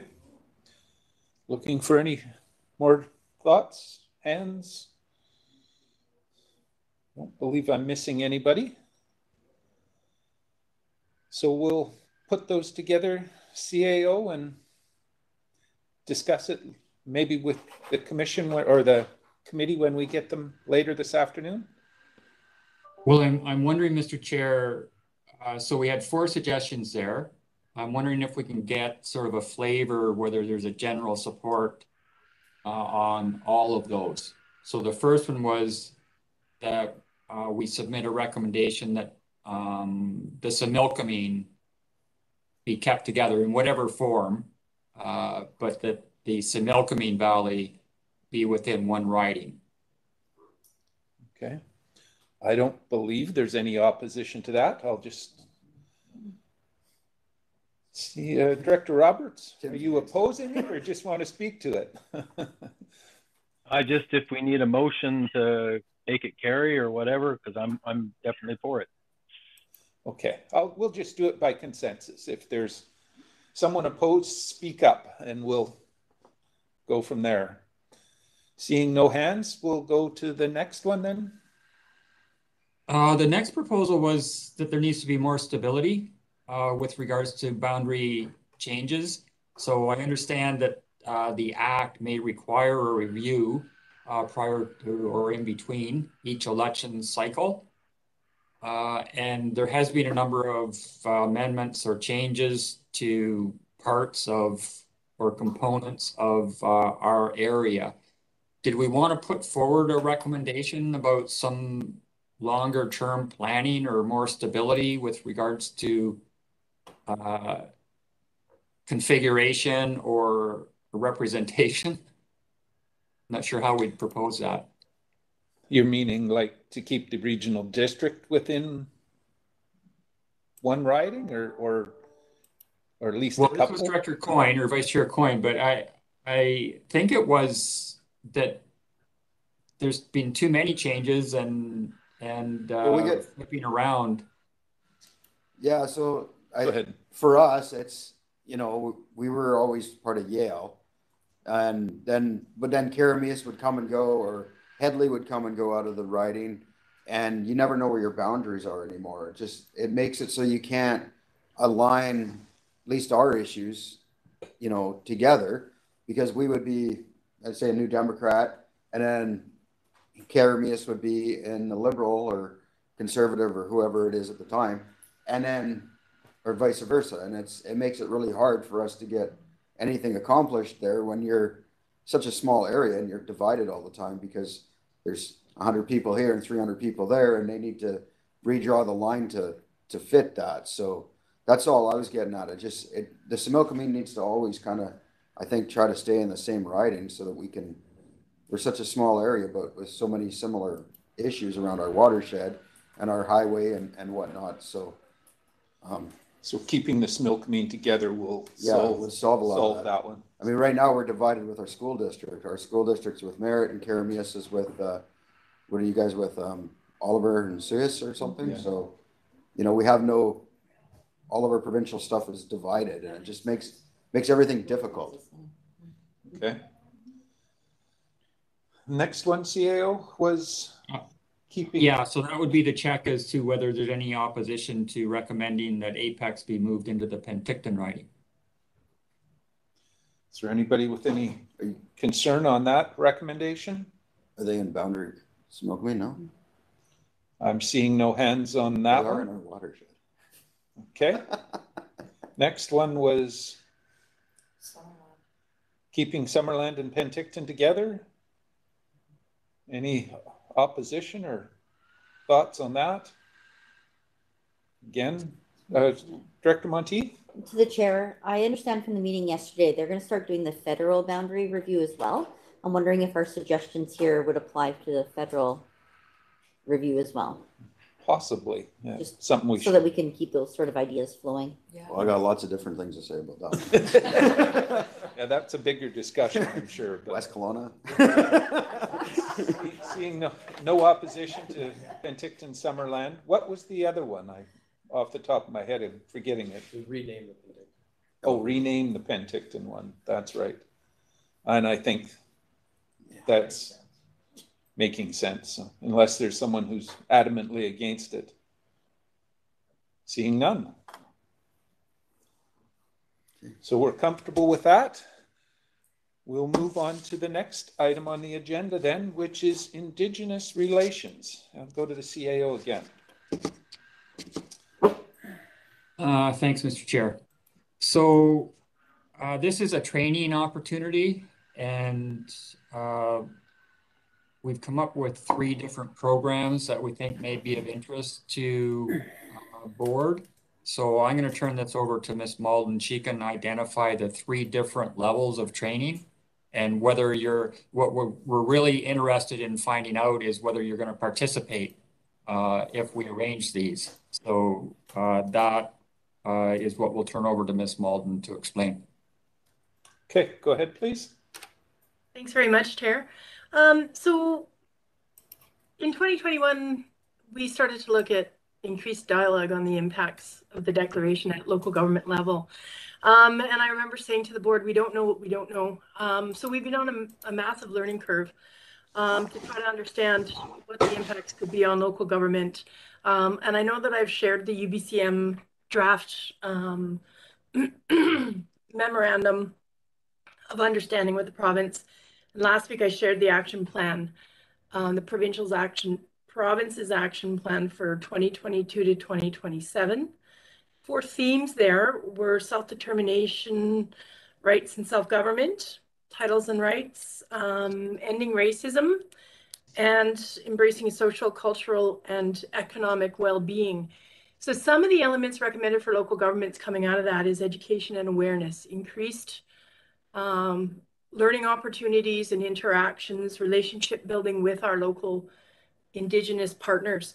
And so keeping that in mind, our recommendation here for the rest of 2022 going forward is to embark on a, a learning opportunity. Um, and we looked at various different uh, programs, some that were a little bit um, more local focused and, and the Bob Joseph program, which I've included a link in the report, is one that we thought met a lot of the needs. I know that local governments across the province are using this program, and we've introduced it to staff as well through our Emergency Operations Center. And I think it covers a lot of a lot of material that uh, would be really beneficial to this board of directors and and alternate directors and member municipalities and staff as well.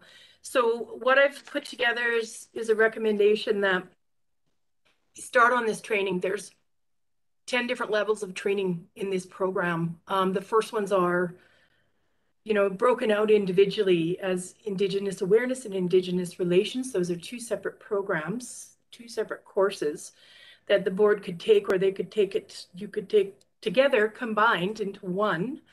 Um, the Working Effectively with Indigenous People course. And I don't know if you've had any opportunity to look at these yet. So I hope the report breaks down sufficiently for you. Um, it's a 30 day session. So you can, we sign up and, and you have 30 days to complete the training. The training uh, for the combined program is six hours approximately. And the resources that are available in this program, the extra library materials or different resources that that is offered are excellent. We've gone through them. We've pulled a bunch out. We've ordered some of the the books, the literature for our resource library as well. So what I'm looking for is some interest from the board as to whether this is something that we'd like to start with this year. And if so, is it more beneficial to take the two individual programs at three hours each?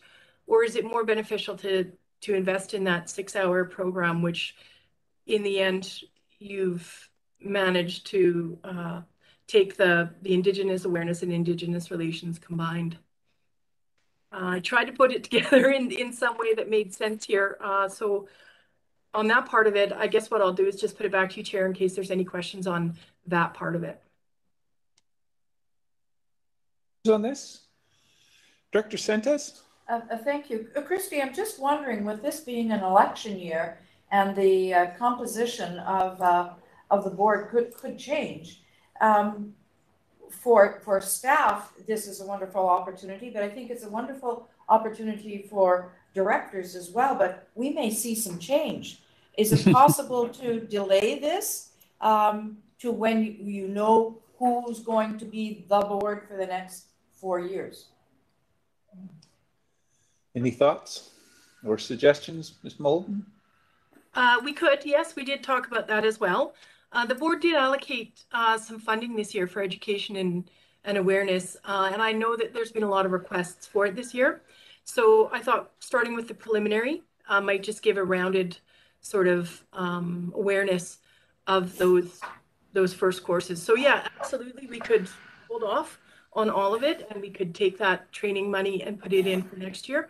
Or the members who are currently here and here for the next few months could take an opportunity to take these courses. I know that they're being offered and taken in any number of different public venues as well. So it's not just specific to local government. However, um, it, it would be very helpful and geared towards elected officials.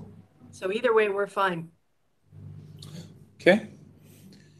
Any other questions or thoughts on on this?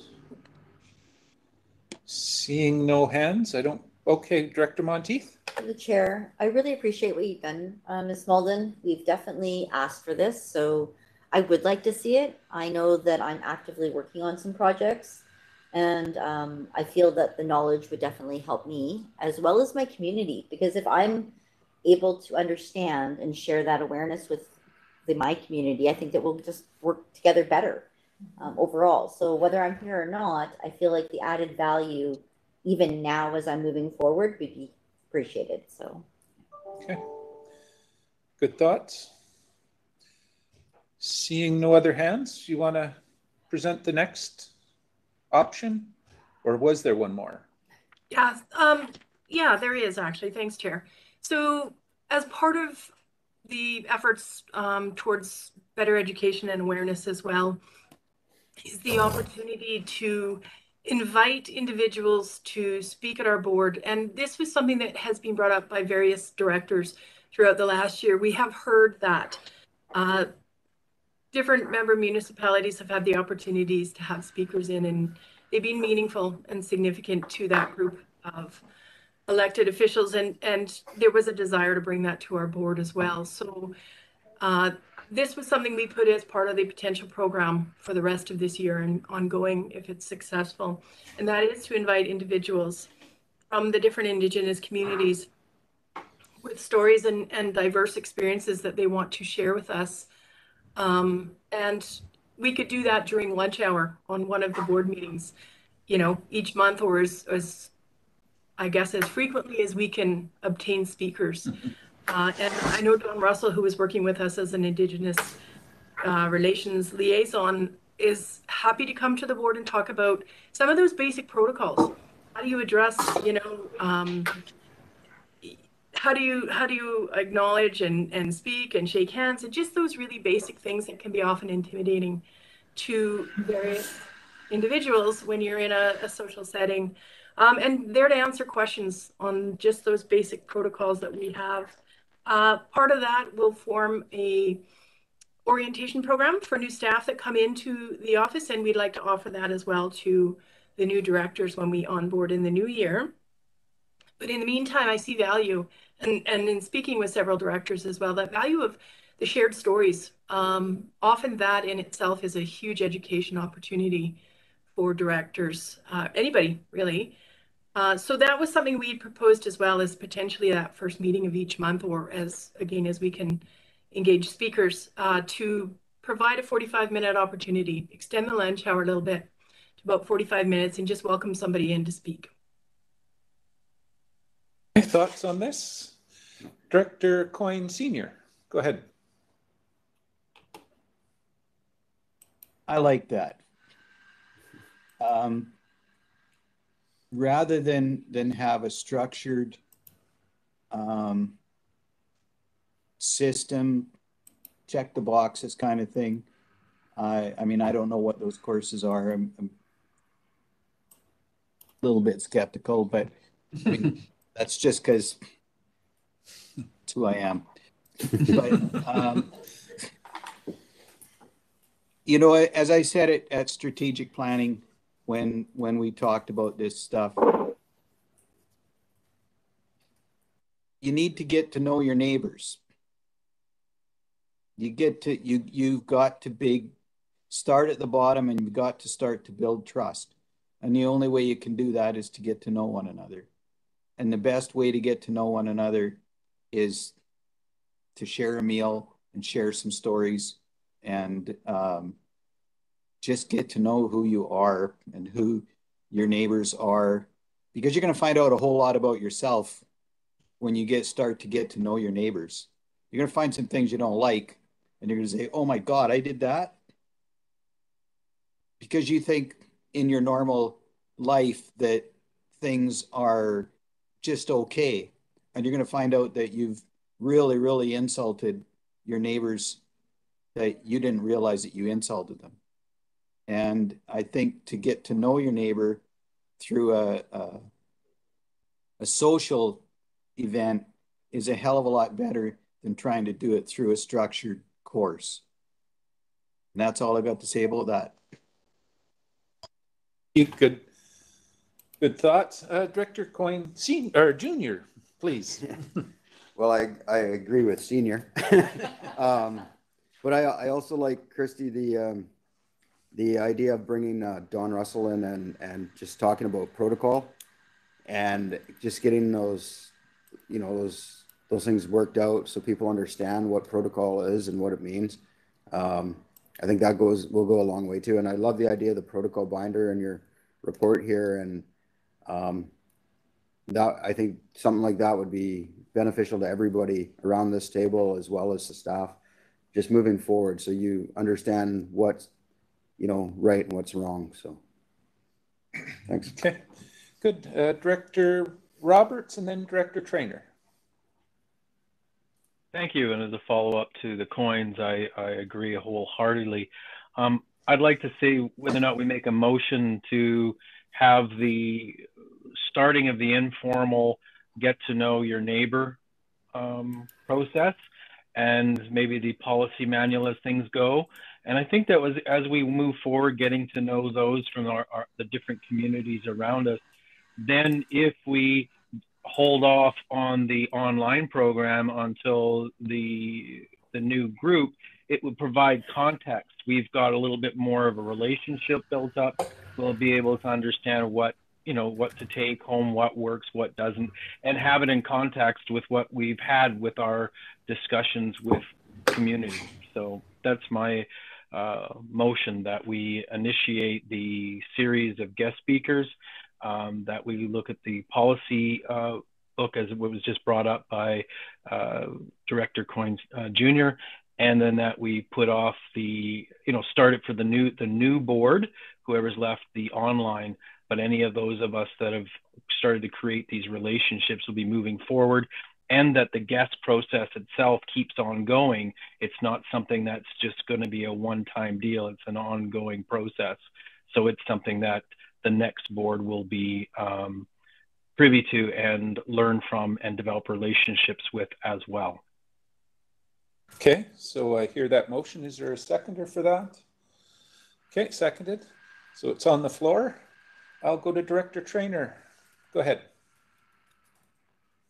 Yeah, I just wanted to add, I think I've said this before, but um, Anona Kampe from the Penticton Indian Band has come to talk to um, Summerland Council twice, and I really enjoyed her presentations. Um, one was about culture, and one was about residential schools, and she has a really um, kind and um, impactful way of sharing stories.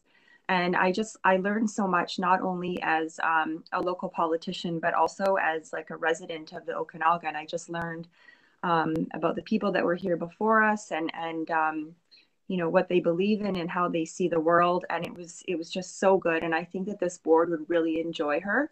Um, she's such a good storyteller and she's used to talking to kids. Um, and so she just she's a really nice person. And so i think that bringing her here over a lunchtime period would be really good for us especially um, once we go back to in-person meetings. Um, i know she likes to do and thing, things in person and um, so I, I, just think it would be really good to invite her to come and speak. And then also, um, like Director Coyne was saying, um, some having somebody come in and talk about protocol would be really good. I, I need to learn a lot about that. So for me as a director, that would be really, really helpful. So those are my suggestions. Dr. Robinson, go ahead. Thank you. Um, just recently uh, at OUC here in Penticton, Clarence Louie came uh, to speak uh, regarding his new book, The Rez Rules. Uh, anybody who hasn't read it, I would highly recommend it. It's very entertaining and uh, really informative. Uh, I think most of the counselors from Penticton uh, actually were at that, but I'd be more than happy to hear him speak again and perhaps somebody from PIB. And I agree 100% on protocol would be nice to have a go over that as well. Thanks. Okay, good comments. Director Holmes, go ahead. Uh, yeah, thank you. Um, since we're in the we're in the business of governance, I guess uh, uh, you know one thing I've heard, and I'm sure all of us heard, in the, uh, is is about how we always expect Indigenous people to fit into our governance model, how they how we expect them to to uh, come to our institutions and, and our meetings and everything, rather than us you know, turn around and, and try to fit into their um, governance model. And I, I, think a lot of us, we attended that ONA uh, workshop uh, in June of last year. Uh, it was a Zoom one. And uh, Gwen Bridge, uh, it, was, it was really fascinating. She compared um, our governance models to most Indigenous people's governance models in North America. And, you know, we kind of start at the same place. We have God on top, they have, they have the creator on top but after that, you know, so so we have the crown, which derives its authority from from God, and below that we have um, the, the con- Constitution, and below that legislation. Whereas most indigenous peoples, they have the Creator on top, and and below that is the earth or land, the land, and and from that um, stories are derived, and from that protocols are established, and that's their governance model. So I think it's really important that we learn, we hear those stories, and we hear, we know those protocols, because that's where that's the only way the two are two competing, you know, off governance models that are often at odds can can have somehow come together, and and I think that's uh, what we've been trying to do a little bit in Summerland is try to hear those stories and and the protocols so we can understand them because it, until we understand those and know them, um, we're not going to get very far. So I, I, I, love this idea of people coming in and telling the stories and, and, and the protocols that come from those stories. So we, you know, because we have to knock ourselves over the head sometimes to make it that understood. But I, I don't know if 45 minutes over lunch will be enough. Yeah. You know, I, I think we might need, you, you, you might need to set longer periods of time to do it. Yeah, well, that's a, a good thought and good suggestion.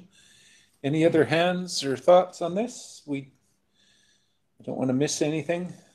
We do have the motion on the floor to start this lunch or otherwise. We can do it during a committee meeting if we have to. If maybe we try it with a lunch speaker, and if it doesn't seem to work out, we can expand it or something. But we'll go from there. I'll call the question then on the motion. All those in favor? Thank you. Any opposed? Motion carries. Thank you very much. And I think that gives you enough direction, Ms. Malden.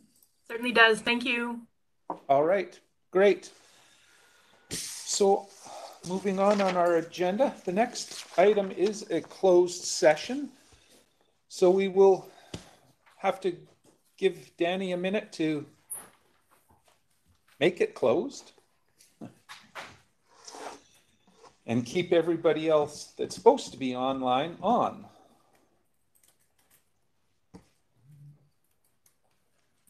Motion moved, seconder, thank you. All those in favor of adoption? Thank you. Any opposed? Again, motion carries. That brings us down to development services. Item B1, Agricultural Land Commission, Electoral Area A, CAO.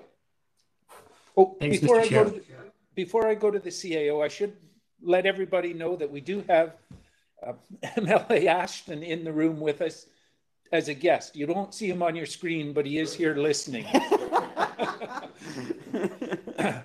Go ahead, please, CAO. We won't read into that uh, reference that he's not listening, Mr. Chair. Oh, okay. Uh, thanks. So uh, this is a referral from the Agricultural Land Commission for uh, an owner who wants to build a new dwelling, but leave the existing dwelling uh, on the property. So uh, right now, uh, he, there is already an existing dwelling on the property, and there's a packing building, and there's a couple of sheds. The uh, ALC regulations only allow uh, one dwelling. So uh, in this case, uh, it's a, it's a farmer that wants to build a new house, but use his current house for farm worker accommodation. And it is compliant with our zoning bylaw, it's just uh, not compliant with the ALC regs. So we're recommending that this be authorized to proceed to the ALC, Mr. Chair. Okay, thank you for that. Director Tim Schwarz, please go ahead. Getting all tongue tied here. Director Roberts. I- I'm not making the motion. I'm just wanting to um, uh, speak clarity. Uh, I just recently was in conversation with the ALC, and there has been a recent change in regards to there being allowed two residents. It's just uh, tied to sizes. Is is that something that just hasn't come down through to staff yet, or is this just me getting a little further information as something that's coming? I'm not sure. Maybe the CAO can answer that. Uh, I think I'll refer this to Mr. Garrish, Mr. Chair. I'm not really up on the new ALC. They keep changing so quickly these days. I'm not up on them either. Okay. Mr. Garrish? Sure, thank you. So, uh, yes, the ALC did change the regulations on December 31st. And they do allow for uh, one accessory dwelling uh, without land commission approval on a parcel now. Uh, but the proviso is uh, the floor area of that dwelling unit not exceed uh, 90 square meters. And if I recall this particular application correctly, um, the dwelling unit complies with our allowance, which is for one accessory dwelling with a floor area not exceeding 125 square meters, uh, but it exceeds the 90 square meters the land commission require or allows for, so hence it needs their approval. Okay, so it has to go to them for approval. Okay, looking for someone to please make that motion. Moved, seconded, thank you. Any further discussion? Not seeing any hands. Got to double check. I'll call the question. This is a rural, actually, it's saying Oh, it's corporate. corporate vote. So just so everybody's aware, corporate vote. All those in favor? Thank you. Any opposed? Question for Mr. Knodel, Director Knodel, I think. Is that a question from? That was a vote. Oh, that was your vote. Okay, thank you, Rick. Any opposed? Seeing none, the motion carries. B2, Parkland Dedication, CAO. Thanks, Mr. Chair. So this is uh, an application uh, for development in uh, the Naramata Benchlands area. And it's for that 41 lot subdivision. And uh, there are developers ready to go on that right now. And the question left outstanding is, do we accept parkland or do we accept uh, cash in lieu of parkland? Uh, and uh, the recommendation is for cash in lieu. Uh, but uh, I have to say at the start, uh, Mr. Chair, that the developer has questioned part of our report in the recommendation from the Naramata Parks and Recreation Commission to accept cash in lieu instead of land indicated that the property wasn't suitable for park. first of all, it's not adjacent to water, but secondly, uh, the uh, land area is geotechnically unstable, and the developer uh, has uh, submitted, and rightfully so, uh, there has been no geotechnical report on that area, and that uh, comment is inappropriate, may affect his lot sales in the future. So we're going to retract that and take that out of our records, Mr. Chair.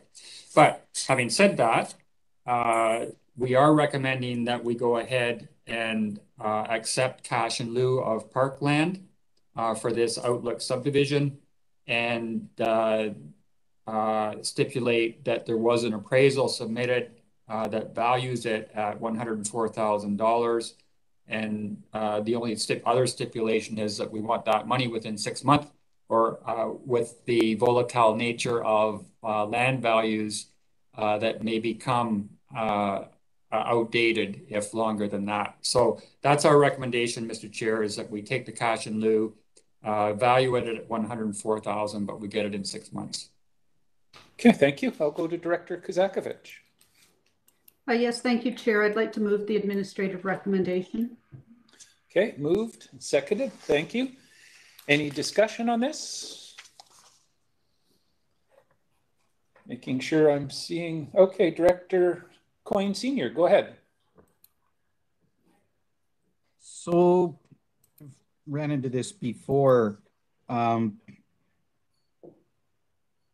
is, is there a, if it's not geotechnical, is there a real good reason why we're not taking the the land? Um, you know, Heritage Kill, Hills comes to mind pretty quick with this. Um, taking the cash in lieu thing and then are, are the residents going to eventually end up having to buy back to put in green space or is there already green space built in or that's my question okay. Can either cao or director kozakevich she got her hand up. Go ahead please. Yeah thank you. Thank you for the question director coyne. We do have a large amount of parkland in Naramata. We have five parks, and I think as the board knows, we've purchased more parkland over the, the past um, eight years. So we do have a large amount of parkland. That being said, we did go on site. Uh, the majority of the Parks and Rec Commission members attended with me uh, on a couple different occasions to look at the parcel of land. And while there could be some uses there, it is quite a ways up the uh, hillside and there is proximity to the KVR. It would it would really have looked more like um, an area where you could park, maybe a couple of picnic tables, but you'd be venturing off onto the KVR trail. We already have uh, parking lots and, and other areas with parking lots, picnic tables, and washrooms. So um, the Parks and Rec Commission felt that they did not need another piece of parkland to look after, that we have an awful lot of parkland currently that we need to do our upgrades on and wanted to have the cash in lieu to be part of our parkland acquisition fund to build that back up as well. It, it sort of was drained down to almost nothing. Thank you. That answer your question, Director Coyne? Yeah, thank you very much. Okay, any further discussion on this?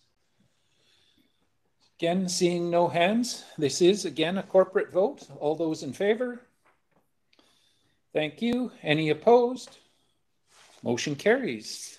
B3, development variance in electoral area D, CAO. Yeah, so this is an application uh, to build an accessory building in the Upper Carmi area, uh, Mr. Chair. And Uh, the zoning bylaw does permit an accessory dwelling in that area uh, with a deck. It permits an accessory building in that area, but does not allow for a deck. And uh, the concern in this particular application is that it's a, a two-story garage, uh, workshop, uh, office type of configuration, uh, which doesn't allow for a deck. And we're concerned that uh, it's uh, built like a deck, or sorry, built like a, a dwelling, looks like a dwelling, and we're concerned that it may turn into a dwelling in the future. And if that's the case, the applicant should be applying for an accessory dwelling, not an accessory building. So we're recommending that the application to add a deck to the accessory building be denied. Okay. I would uh, have to, at this point, as it's a motion or a recommended motion to deny, ask if the applicant is available and wishes to speak to this. Um, can Do I just have... ask, Mr. Chair, should should we not put a motion on the floor uh, prior to asking the applicant to speak? Well, I guess we can do that if the applicant or the alternate director is available for that. Please. Thank you. would your Thank you, be? Chair. My motion would be to um, recommend the alternative motion from the administration to approve the development uh, of the variance, the development of the deck okay. and the variance. All right, so you're making the motion you to, you're making the motion to approve. I see a seconder for that. Any discussion on this?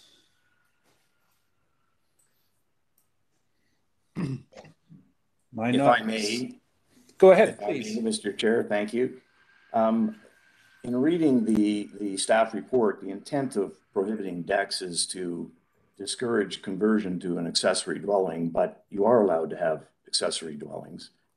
And in this case, the floor plans don't include the installation of a kitchen or washrooms or water septic, those types of things. So the report indicates as well that putting the deck on is not going to immediately um, result in the conversion to a dwelling, and that the purpose of this dwelling is to for for uh, saddle making and for leather works, which are best done outside to avoid some of the fumes. So it seems to me that what the applicant is doing here is wanting to put a deck on outside of a, uh, a building that they're going to be doing some some leather work in so that they can perform those functions outside. And it seems to me that we've got some rules that they want to go into a an accessory dwelling, they're going to have to comply with all the other rules and regulations. Thank you. Okay, thanks for that. I see a hand from Director Bush. Go ahead. Yeah, so I would agree with uh, going ahead with the deck, and uh, you know, if down the road that somebody wants to make a secondary dwelling, then that would be a different discussion. But for now, I think I don't see any problem with the deck. Fair enough. Any other discussion on this? Seeing no hands, this is a rural vote. I'll call the question. All those in favor? Thank you. Any opposed? Motion carries. B4, another development variance, this time from electoral area E. Go ahead, CAO. This is an application for a variance to a rear yard uh, at Workman Place from 10.5 meters to 2.5 meters and a variance from the side yard uh, from 4.5 meters to 1.5 meters.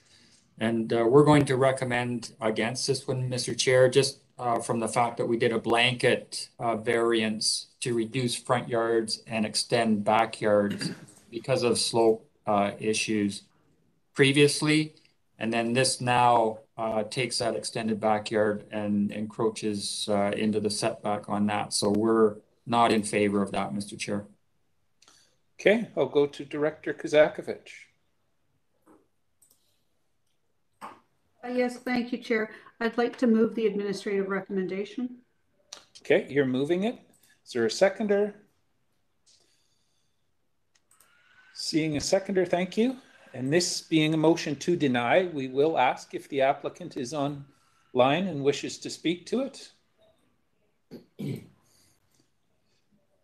Danny's nodding his head yes, so please, if he's available, he or she is available, please go ahead. Hi. Hi, everyone. We can just hear you. Could we get the volume a little bit higher? Yes. Hi, my name is Sajjad Kimanish. I'm uh, here behalf of my clients on that property, uh, 2573 Workman Place.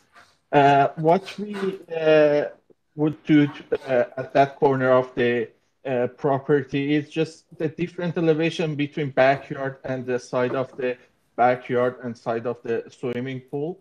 We're not going to build anything like it's just the uh, landscaping purpose. Like we just want to uh, resolve that uh, different elevation about 48, 49 inches between the backyard and the side of that we have a, a water management pond on the south side.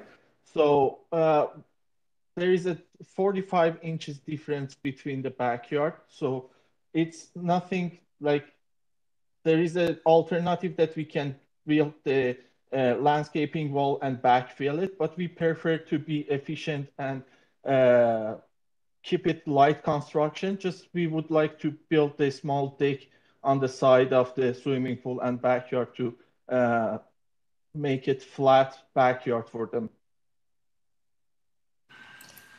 Okay, I'll ask the board if they have any questions for the applicant or his agent.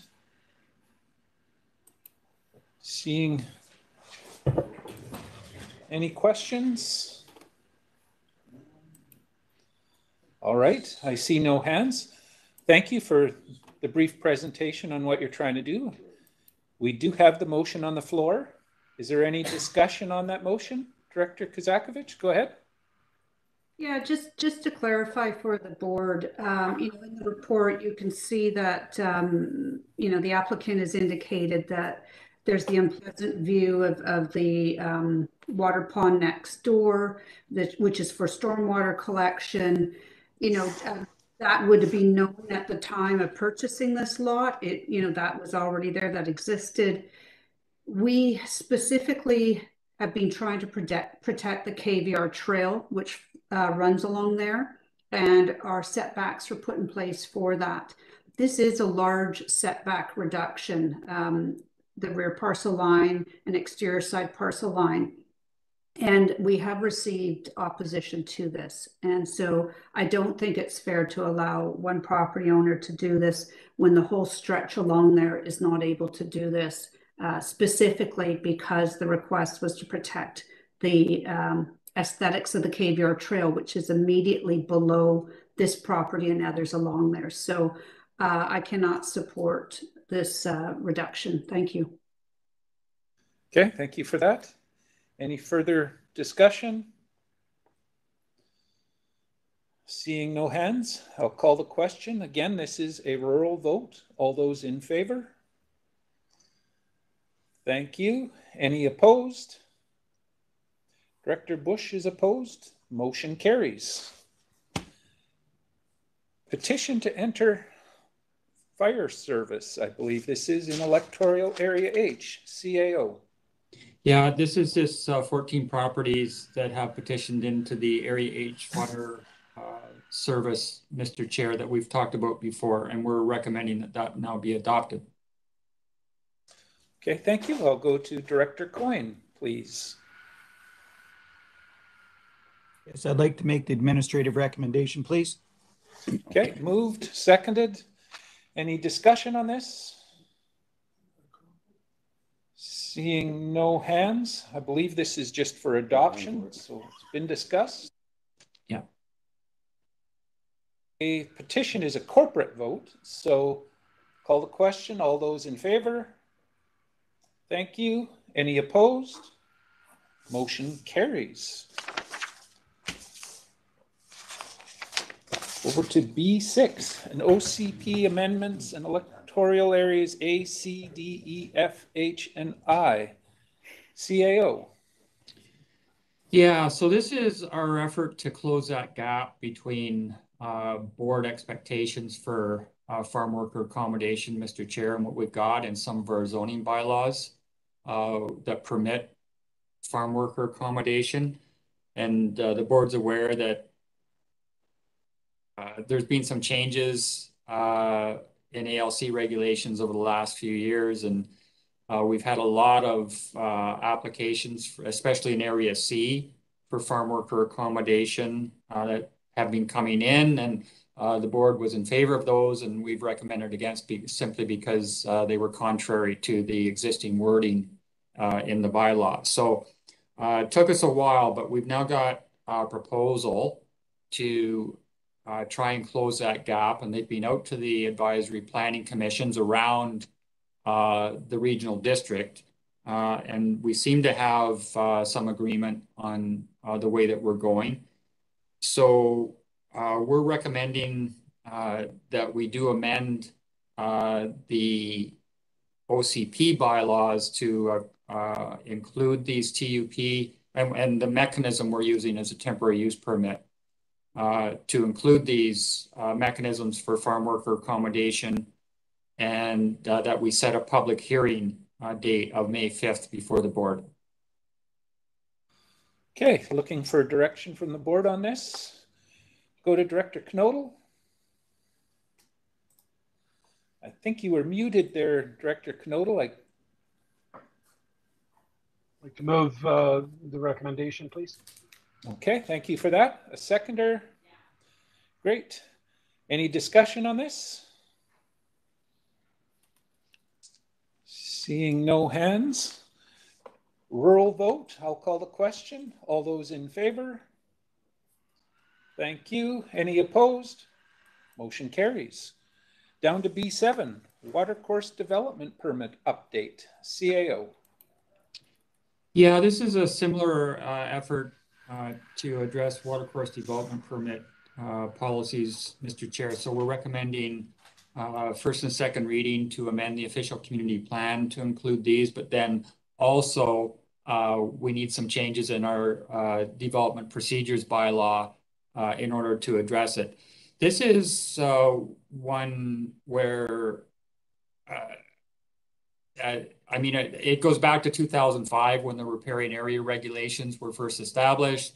And then uh, we changed our development procedures bylaw to adjust to the RAR regulation. And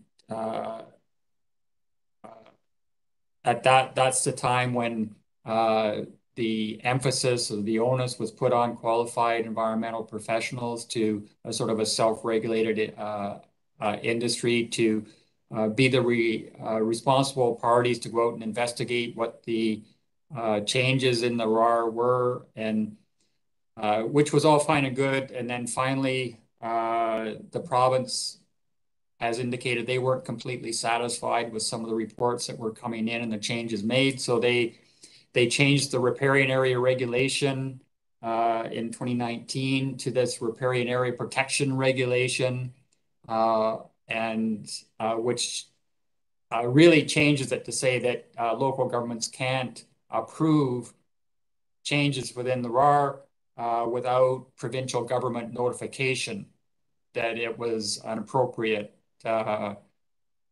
change. So QEPs still submit the reports, but we can't go ahead on those uh, until the province says that they accept them.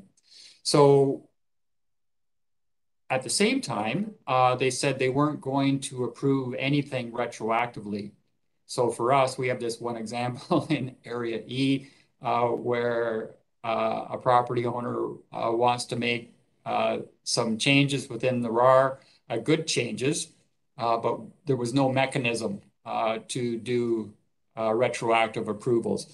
So this is us now bringing forward the changes to our official community plans and then changing our development procedures bylaw uh, because the, pro the province said, well, we can't give you permission to do anything retroactively. Just go to your local government.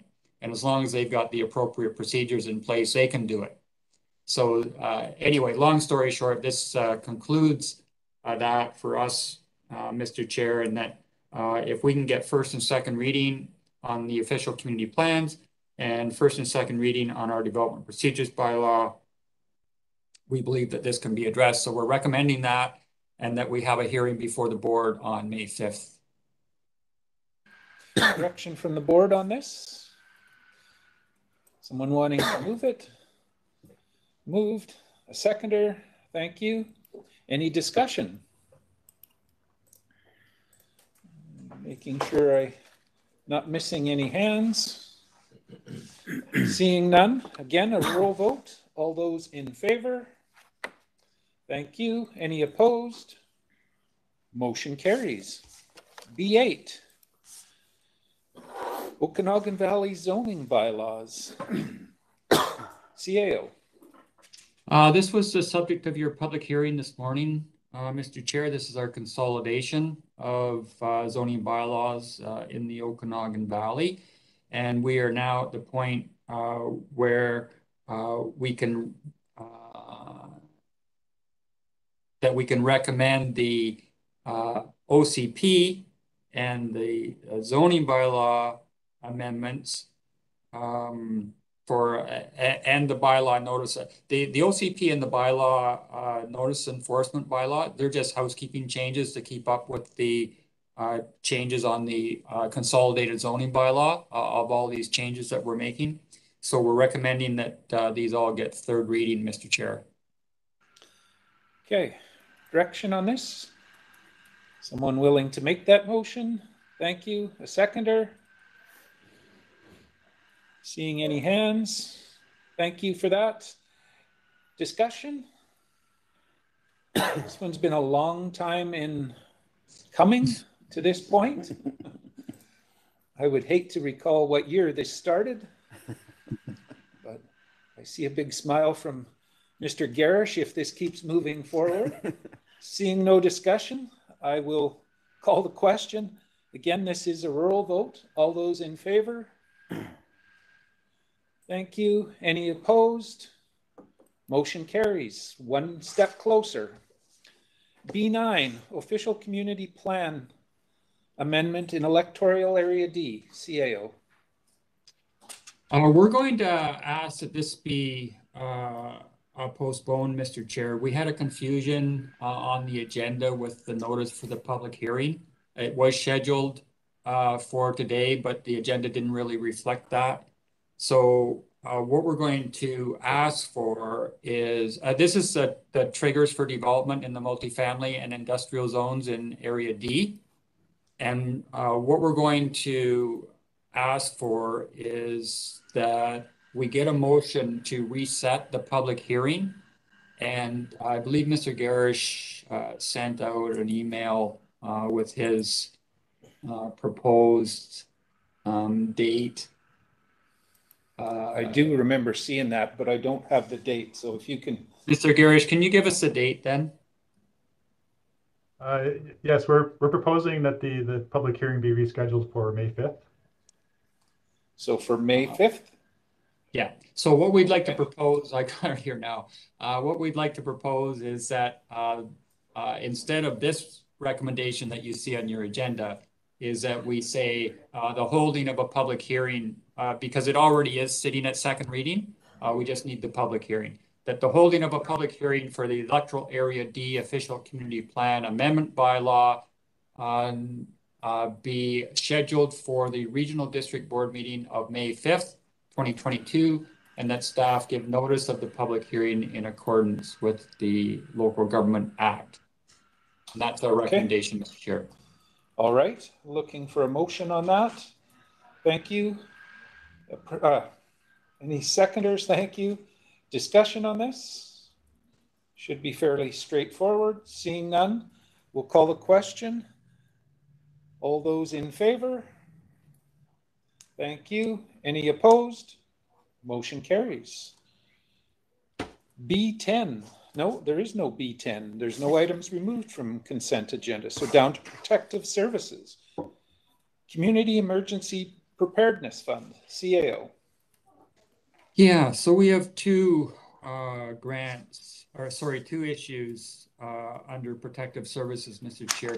The Community Emergency Preparedness Fund uh, is again offering uh, grants for training and exercising and EOC improvements. Uh, we've uh, received funds under this program in 2021. This is the 2022 phase. Uh, so we are recommending that we submit an application uh, to the UBCM Community Emergency Preparedness Fund for training and exercising in order to get those 2022, uh, that 2022 grant. Direction from the board on this? Moved. Thank you. A seconder. Thank you. Discussion? Again, this is fairly straightforward and it's a corporate vote. I'll call the question. All those in favor? Thank you. Any opposed? Motion carries. Next one. Award of a contract for the Emergency Operations Center Training, CAO. Yeah, and I should have said on that previous one, the 2022 uh, application is for $99,000, uh, Mr. Chair, and it's in partnership with Summerland, Oliver, and Keremeos. This Good next one, yeah, uh, this next one is the award of funds from under the 2021 grant that we got. And uh, uh, for this one, and we had this at committee, this is uh, uh, was at uh, the March 17th committee uh, for discussion. Um, but what we're recommending is that we award a contract. Um, I think it's to Red Dragon, to Red Dragon Consulting uh, for $69,000, and that's for uh, training and exercising. Okay, thank you. Someone willing to move it? Move thank it. you. A seconder? Thank you. Any discussion? Again, seeing no hands, corporate vote. All those in favor? Thank you. Any opposed? Motion carries. Down to finance, Naramata fire truck purchase, CAO.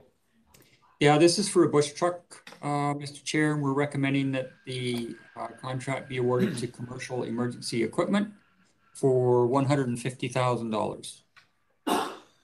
Okay, Director Kozakevich, direction on this? Yes, thank you, Chair. I'd like to move the administrative recommendation. Moved and seconded. Thank you. Any discussion? Again, seeing no hands, and this is corporate vote. Call the question. All in favor? Thank you. Opposed? Motion carries. Area B Community Works, CAO. Yeah, this is to uh, withdraw funds from the Area B Community Works Program Fund, Mr. Chair, for $75,000. And this is for the uh, Cawston trail. And we're recommending four readings. Okay, thank you. Director Bush?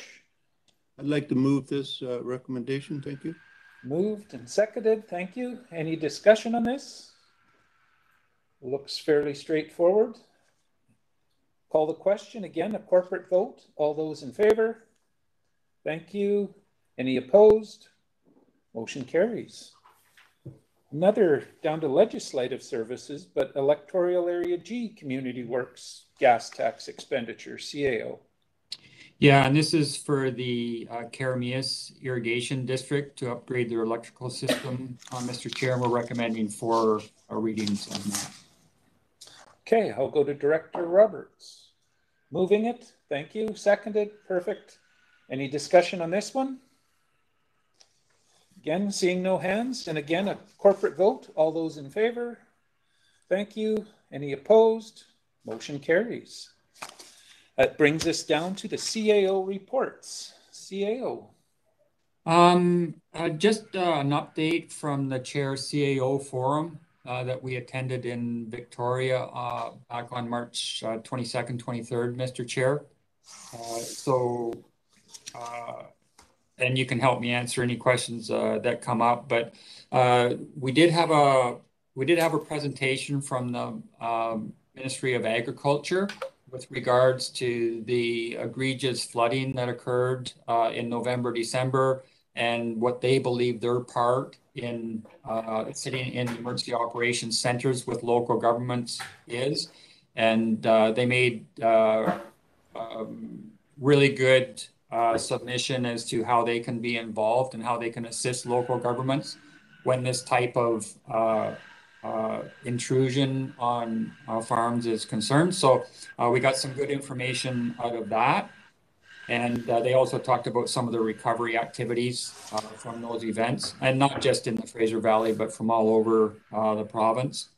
Uh, they specifically referred to uh, assistance that they gave uh, um, during the 20 during the fires in previous years and local EOCs as well. so that's always good. always taking care of animals and the need for farmers to whether these types of events uh, on site in order to take care of their, their animals uh, was uh, eye-opening. So uh, that was good. We had a, a, legal update from Young Anderson on some of the more recent cases that came up uh, affecting local governments and uh, some good discussion on that. we did have the ALC. These aren't in order. We had a couple of these presenters that either opted in or opted out at the time, but uh, we did get a presentation from the Agricultural Land Commission um, just on updates on some of their regulatory changes. Uh, so that was good. Uh, so not much that I'll, I'll give on that one, other than the fact that we now have invited the ALC to appear before the board uh, to discuss more our issues. Uh, and uh, uh, I'm sure they'll elaborate on some of their legislative changes uh, at that time as well. We had EMBC there talking about what they now consider just really the norm rather than uh, changes with regards to climate change and how they're adapting their organization uh, to these extended provincial and local government events. so, and their intention to be more collaborative and to be more supportive of local EOCs. Uh, so we had that one. And then uh, we had the new Minister of Municipal Affairs, Minister Cullen, uh, appeared before the group and uh, uh, seems like a personal man and gave his idea of some of the projects that are upcoming on his docket. some of the legislative changes, talked a lot about the local government elections coming up in the fall. so that was interesting.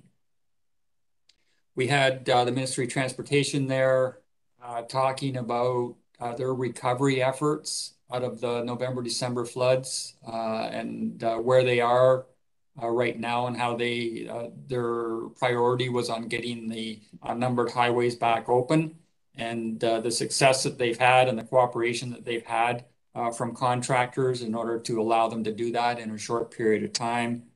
so that was good. Uh, we had a, um, a presentation from E-Comm, who, for those uh, that may not know, uh, uh really operates the primary operations center for emergency telecommunications, so E911, uh, talking about the next generation of emergency dispatch. So changing their technology to include cell phones and better addressing off mobile phones. And we know that that's been extended. Uh, the, contracts have been extended over the last few years. They're still trying to get this technology identified and then putting a cost on what that might look like. Uh, in the meantime, we've been ongoing updating the contract on an annual basis, but that will soon be ready uh, to go to the more extended uh, contracts. And uh, for us, we contract with E-Comm through Central Okanagan Regional District, and then we have our secondary ops for fire dispatch through the city of Kelowna. And then there was the typical nuts and bolts section uh, and uh, had uh, discussed various issues there. And that was it, Mr. Chair. For that, any questions, Director Holmes? Go ahead. Uh, yeah, thank you. Um, I, I, just want to follow up of CEO when he mentioned that the new Minister of Municipal Affairs. updated, uh, gave his priorities on his docket. I was just wondering, are those the same priorities as the previous minister? And, and so when there's a, a cabinet shuffle like that, does the mandate letter from the previous minister just carry on over to the new minister or does he get a new mandate letter? Uh, uh sorry, Mr. Chair. Uh, should I answer on Go that ahead. one? Uh, yeah, ahead. he didn't really he didn't really talk about the mandate letter so much. That does stay the same. Uh, he uh, he was talking more about continuing uh, the collaboration with local governments that the previous uh, minister had started. Uh, uh, the board will be familiar with those monthly or uh, during the pandemic, even more regular uh, teleconferencing opportunities with the minister for local government. So Minister Cullen continues to do those. He's scheduled one already.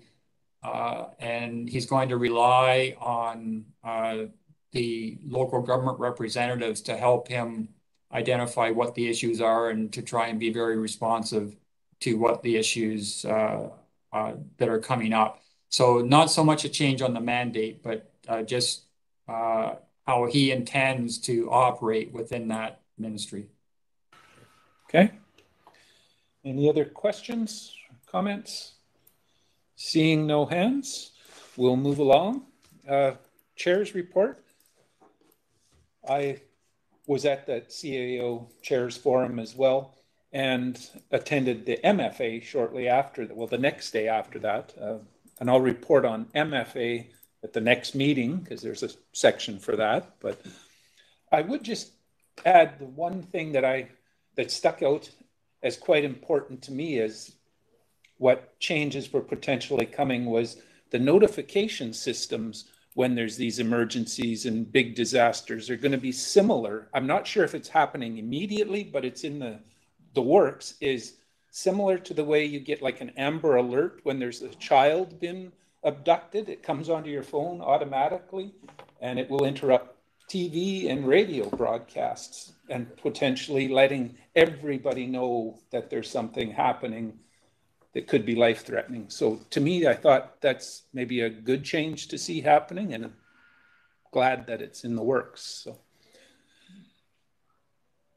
otherwise, I don't have a whole lot to report. I've attended several of these meetings with ministers and attended one yesterday again with emergency management BC and their updates. And I think there was several of you guys on there as well. So I won't elaborate on that. There wasn't a great deal to report out of that either.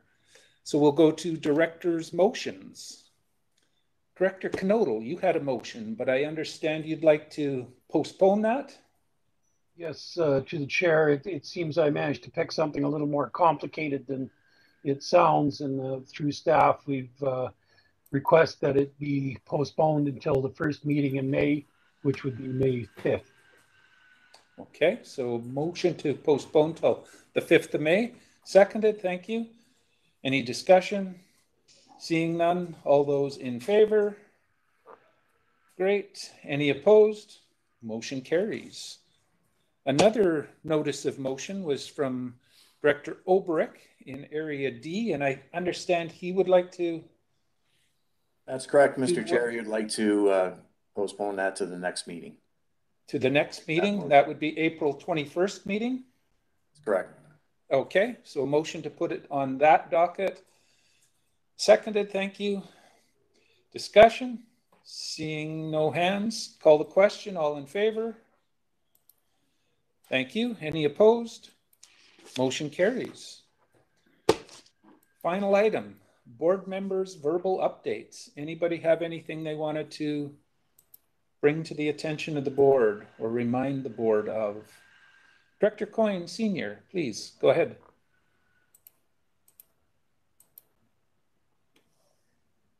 So this is going to be my last meeting with the board for some time.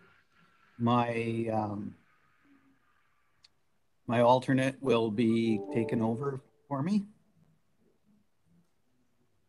Um, Linda Allison Linda's very, very experienced. She's a former board member and has uh, extensive uh, experience in local government as well as uh, federal stuff dealing with the Cattlemen's Association and, and president of Canada Beef for a number of years.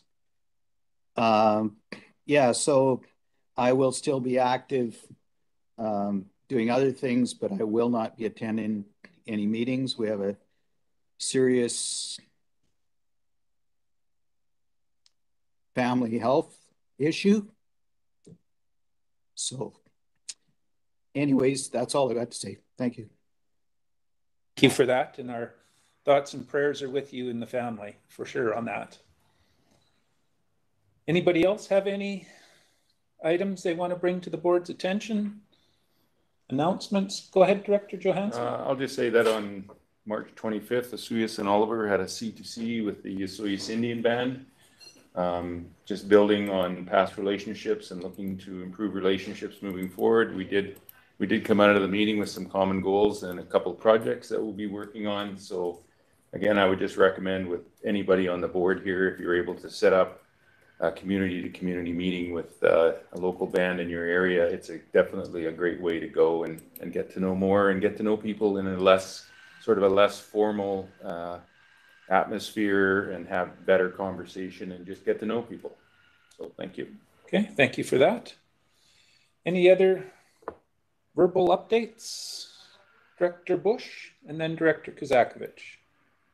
Uh, yes, uh, Director Roberts and Director Bauer and I had a great um, mine tour visit yesterday, and uh, we got to watch the new trolley um, U-Haul trucks that are that are now running on electricity, and it's quite a it was a very interesting uh, tour. And uh, I'd also like to wish Bob Coyne and his family the best. Thank you. Thank you for that. Director Kozakevich? Uh, yes, thank you to the chair. It was just a follow up to what uh, Director Johansen updated on. I was just curious if the uh, Area A and C directors were part of that C2C. Uh, yeah, Director Knodel and Director Pendergraft were both invited. Uh, Director Knodel was unable to attend, and uh, Director Pendergraft, I believe, in Vancouver at the time. Yeah, I was at the so Chairs and CAO Forum. Sarah Foss, I believe, attended on behalf of the regional district. Um, but yes, they were they were part of that as well. Okay, perfect. Director Knodel, I see a hand from you. It's just to further that discussion we did send Sarah in in our stead for the two of us because we knew we wouldn't be available, and we will be getting uh, a, an update this afternoon from her on that uh, briefing on how the uh, C2C discussion went. Thank you. Okay. Any other verbal updates? Seeing none, we are at the end of the agenda here. I'm looking for a motion to adjourn. Lots of hands. Thank you. All in favor? We are adjourned. I will remind the board, though, there is an opportunity to hear from the Boundary Commission folks, and I believe we're going to try to get them on early, if that will work. So if you want to stick around and give us a couple of minutes, and Christy said she can get them on early, so we'll see if that happens. So not everybody sign off. Bye, guys. Bye.